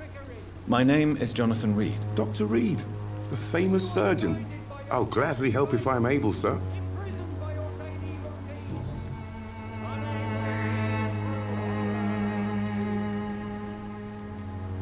Have you any idea of the danger you face in these streets at night? I've had to run and hide more than once from frenzied mobs incensed by the fever. Do you think the flu is really responsible for this, Doctor? I'm convinced there is more at work here than a simple epidemic. Really? To be honest, I could say the same. Some of the sick I saw or heard of. My God, what happened to them? Why are the newspapers keeping silent about the Spanish influenza? It's as though none of you care. There's a war going on. People shouldn't be demoralized by news of deadly diseases. It's a disgrace. People are left to die alone. No one is properly informed of the risks. These are bad times indeed. So much for the glorious British Empire. What is a journalist doing in this borough after sunset? He goes where none of his colleagues would dare to go, to inform the country. So you risk your life to reveal the truth? I saw many reporters do the same during the war. Whitechapel is the crucible of so many untold stories and tragedies. I want people to know them. That's quite honorable of you. But is the public interested? Not at all, sir. And that's why I'm an independent journalist, hoping to sell some stories. Christina Popper claims she sells her body because she can't find any other work. Do you believe her? Of course I do. Her story is exactly what I want my readers to understand. We live in an intolerant and divided nation. Do you think things will ever change, Mr. Darby? I believe the situation can only improve. And now that women can vote, I'm convinced things will change.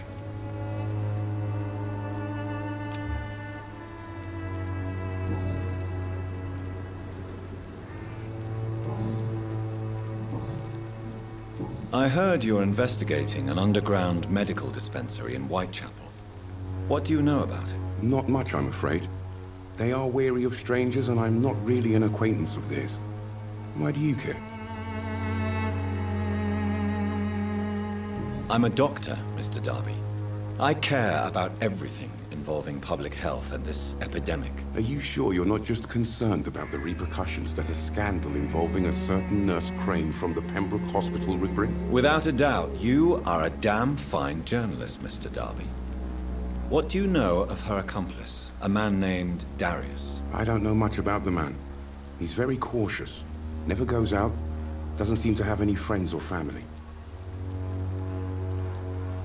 He never goes out? No. A few days ago, he unexpectedly did.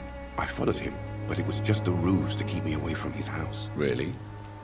How do you know? He went to the nearest mailbox, but just before posting his letter, he ripped it up and threw it away. He has no relatives at all? No. Except for that strange man, a poet named Richard Nethercott, who sometimes comes by. Darius would never let him in.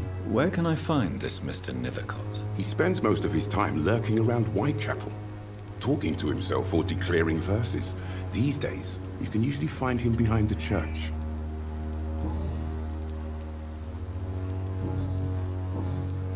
Goodbye, Mr. Darby. Farewell.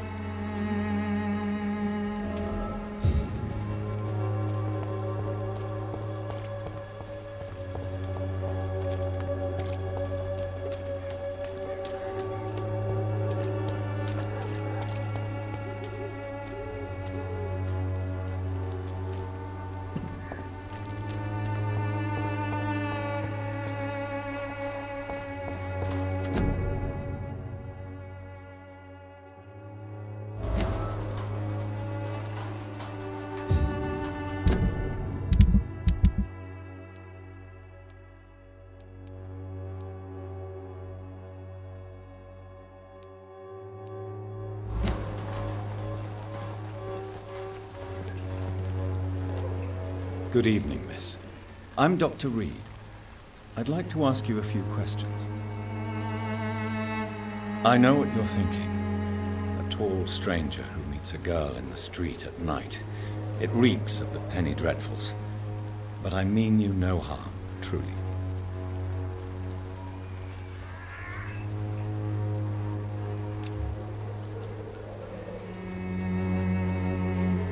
I know you understand what I'm saying. Your silence has nothing to do with you being mute, does it?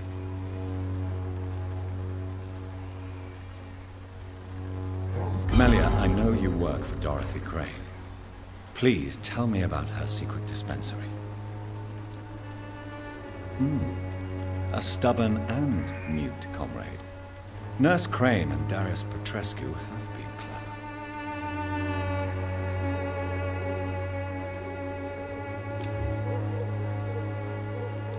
don't seem to need my medical attention for now.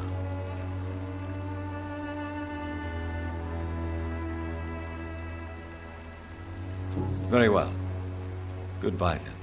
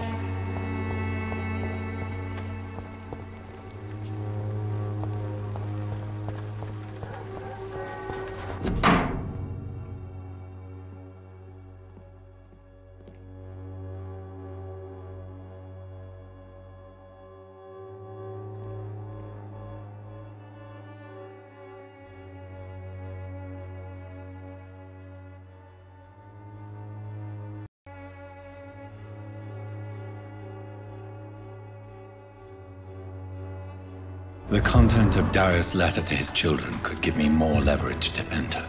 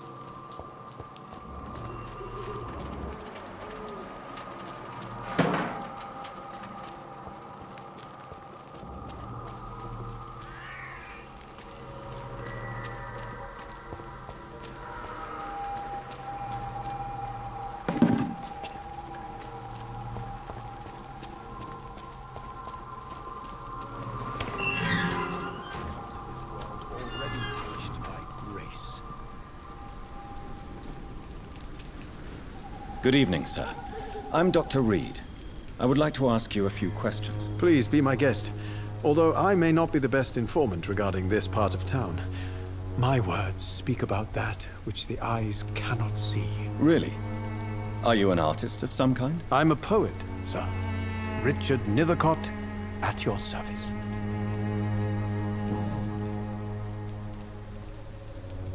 May I ask what you're doing at this hour of night, sir? Do you live here? Not at all. I'm just enjoying the pleasure of a quiet walk. Though night talks are always preferable, if you ask me. Especially with strangers. But are you not afraid of the epidemic? Oh, why should I? I see some equity in the Spanish flu. Uh, no flesh should be saved, say the scriptures. Good or evil, rich or poor, all are equal in the eyes of the flu. If you say so.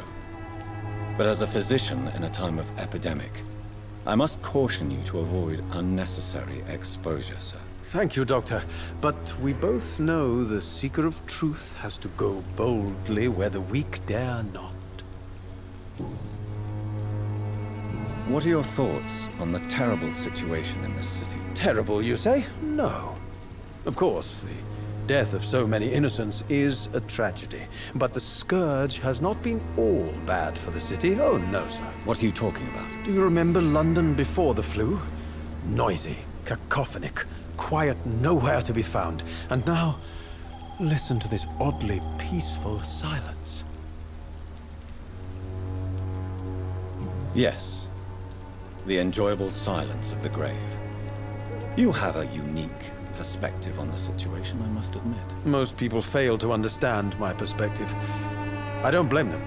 But how could I call myself a poet if I veiled my feelings?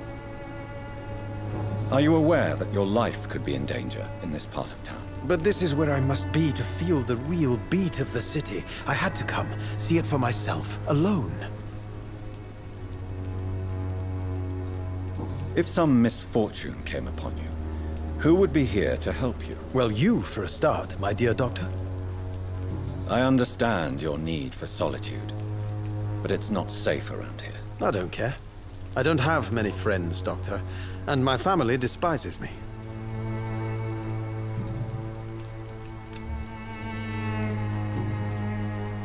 May I ask you a few questions about the district? Extraordinary part of town, is it not? I'll be glad to help you, if I can.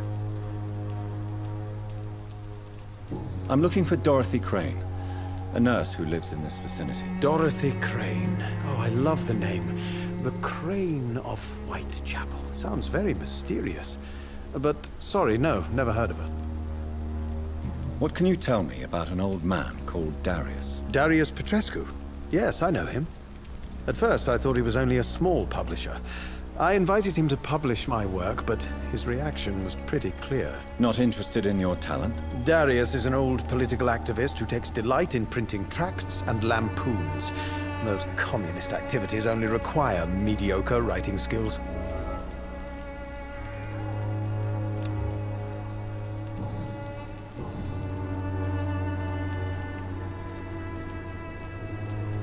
Tell me, Mr. Nethercott, why seek inspiration in Whitechapel? The place is not beautiful per se, but uh, how to explain it? Stirring and challenging. Do you not think it a little morbid? On the contrary, sir. Whitechapel is full of life, full of beauty. Just like my dear muse, the wonderful Camellia. What can you tell me about Camellia? Not much. And that's the beauty of it. She can't speak, you know. She's a locked mystery who exhales kindness and sweetness. Perhaps you're just afraid to find out the truth about your muse. One day, perhaps, I'll ask her to come with me. But ah, will she still be my wild flower of Whitechapel if she moves uptown? And have you ever tried to learn more about her? Where she lives? How she survives? Whom she may know? Maybe I prefer she remains an enigma. Reality can be so dull, don't you think? In what way, exactly? The struggle by gaslight, the barren smiles and the added hunger under the rain. If you say so. Such vibrant antagonism and vivid paradox. The stripped humanity raged across each street. Vivid, of course, yes. And what about the poignant distress? Oh yes, the poignant distress. You see what I mean, don't you? That's what I want to write about, and that's what Whitechapel is made of. Did you know the Mute Florist is a member of a secret society? No, I didn't. But I thank you for this information, sir. For it only enriches the mystery surrounding the precious Camellia. Are you not curious? Is there not more you wish to know? That girl has not an ounce of malice in her. Whatever she may be hiding, it's certain to be for the benefit of most, if not all. I fear you are a hopeless romantic, Mr. Nethercott. Guilty as charged, Dr. Reid.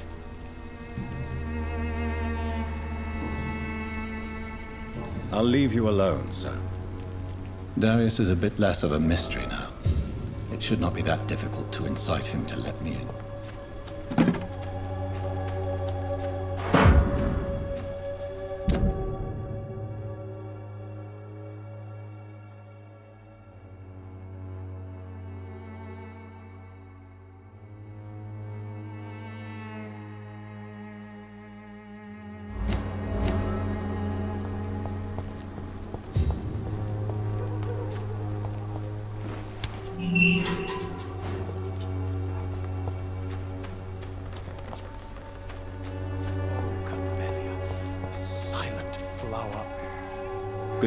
And good evening to...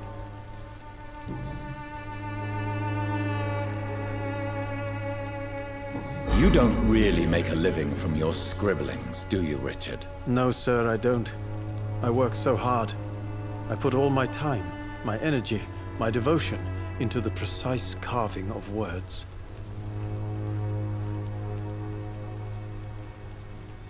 Still, you don't seem to suffer from poverty. With thanks to my parents, actually. I'm afraid I would not be able to live on my own without their help. You seem embarrassed. Someday I hope to proudly offer my first publication to my parents. Until that day, I'll remain the failure of a son they have to support.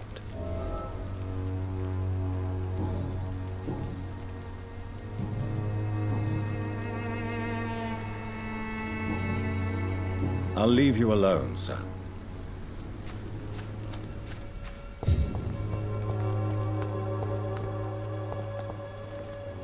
Hello again, miss.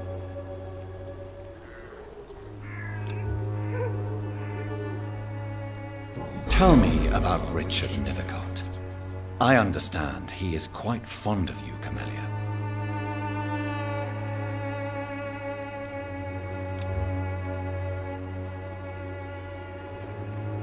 Very well. Goodbye then.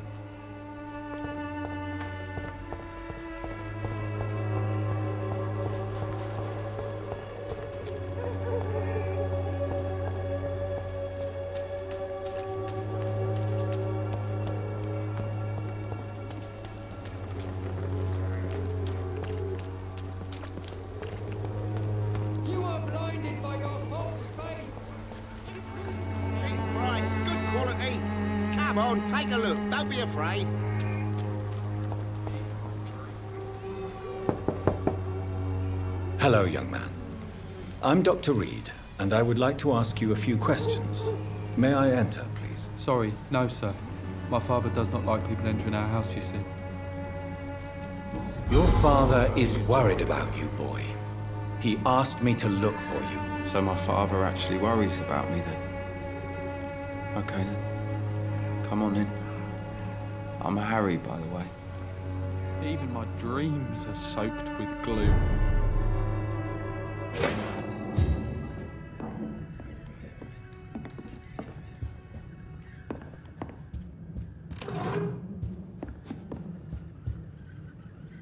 So, may I ask you a few questions? I'm not bothered.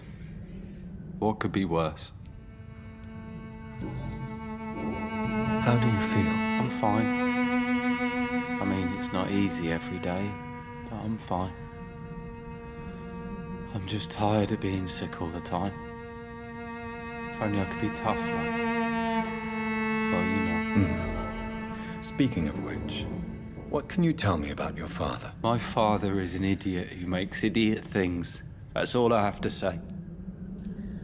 Forgive my bluntness, young man, but you don't seem happy living in Whitechapel. Why should I? I never wanted to come here in the first place. It was my father's decision.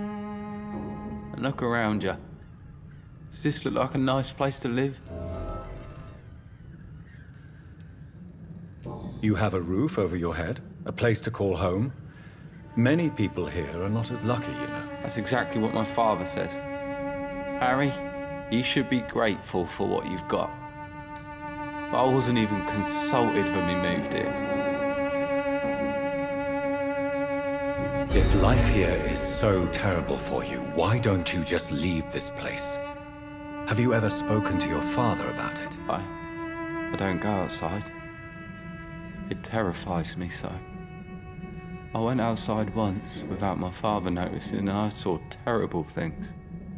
Bloody and frightening things. So that's why you stay at home all day? For fear of the epidemic? I'm not afraid of disease or death, Dr. Reid. It's the living I'm afraid of.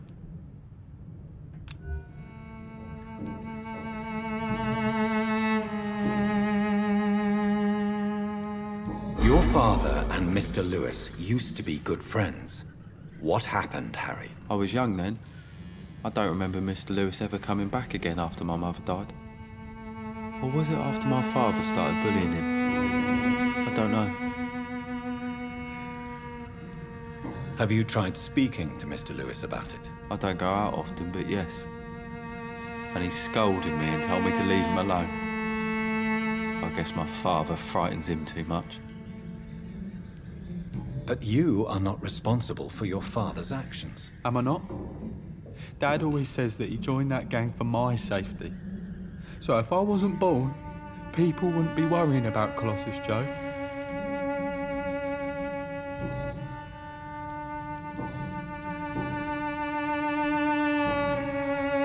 Do you know Nurse Dorothy Crane from the Pembroke Hospital? I'd like to know more about her. Yes, I know her.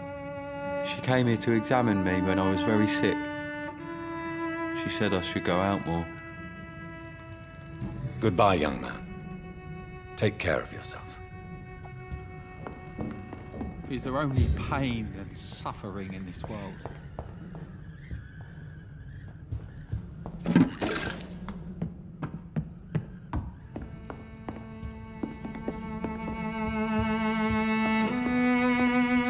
It's locked, all right.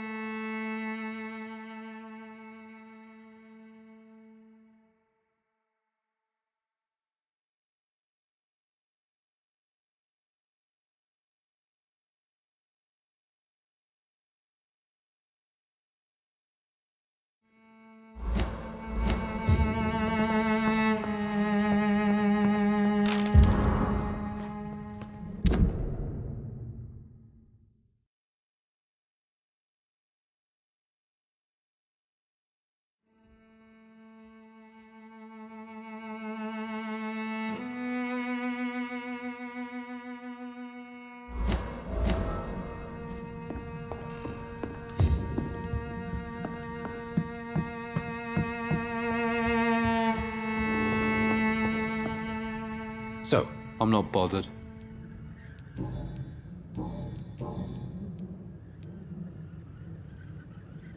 Would it ease tensions with your father if he got an honest job? Because he tried, you know. I can't say. I'd be glad if he dropped his thuggish activities. But I'm not sure it would be enough. Why is that? Sometimes I suspect it's me, Dr. Reid. Or it's this life. It's like I can't find my place. Do you need any medical help? Yes, I do. I will see you later. Goodbye, young man. Is there only pain and suffering in this world? You again? What do you want this time?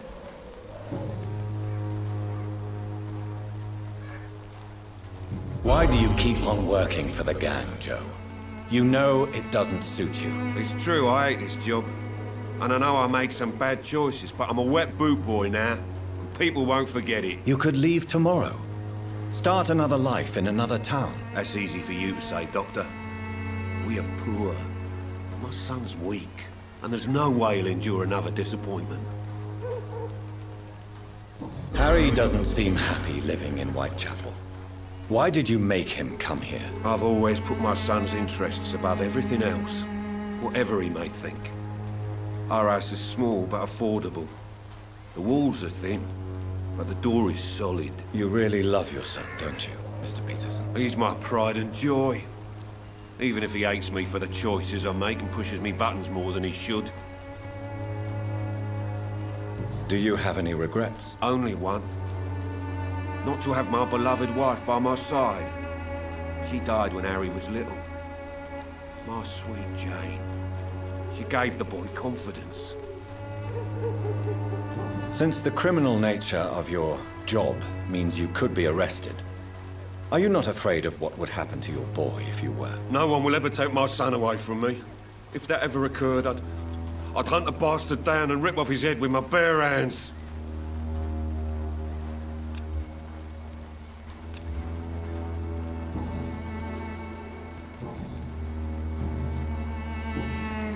Goodbye, Mr. Peterson.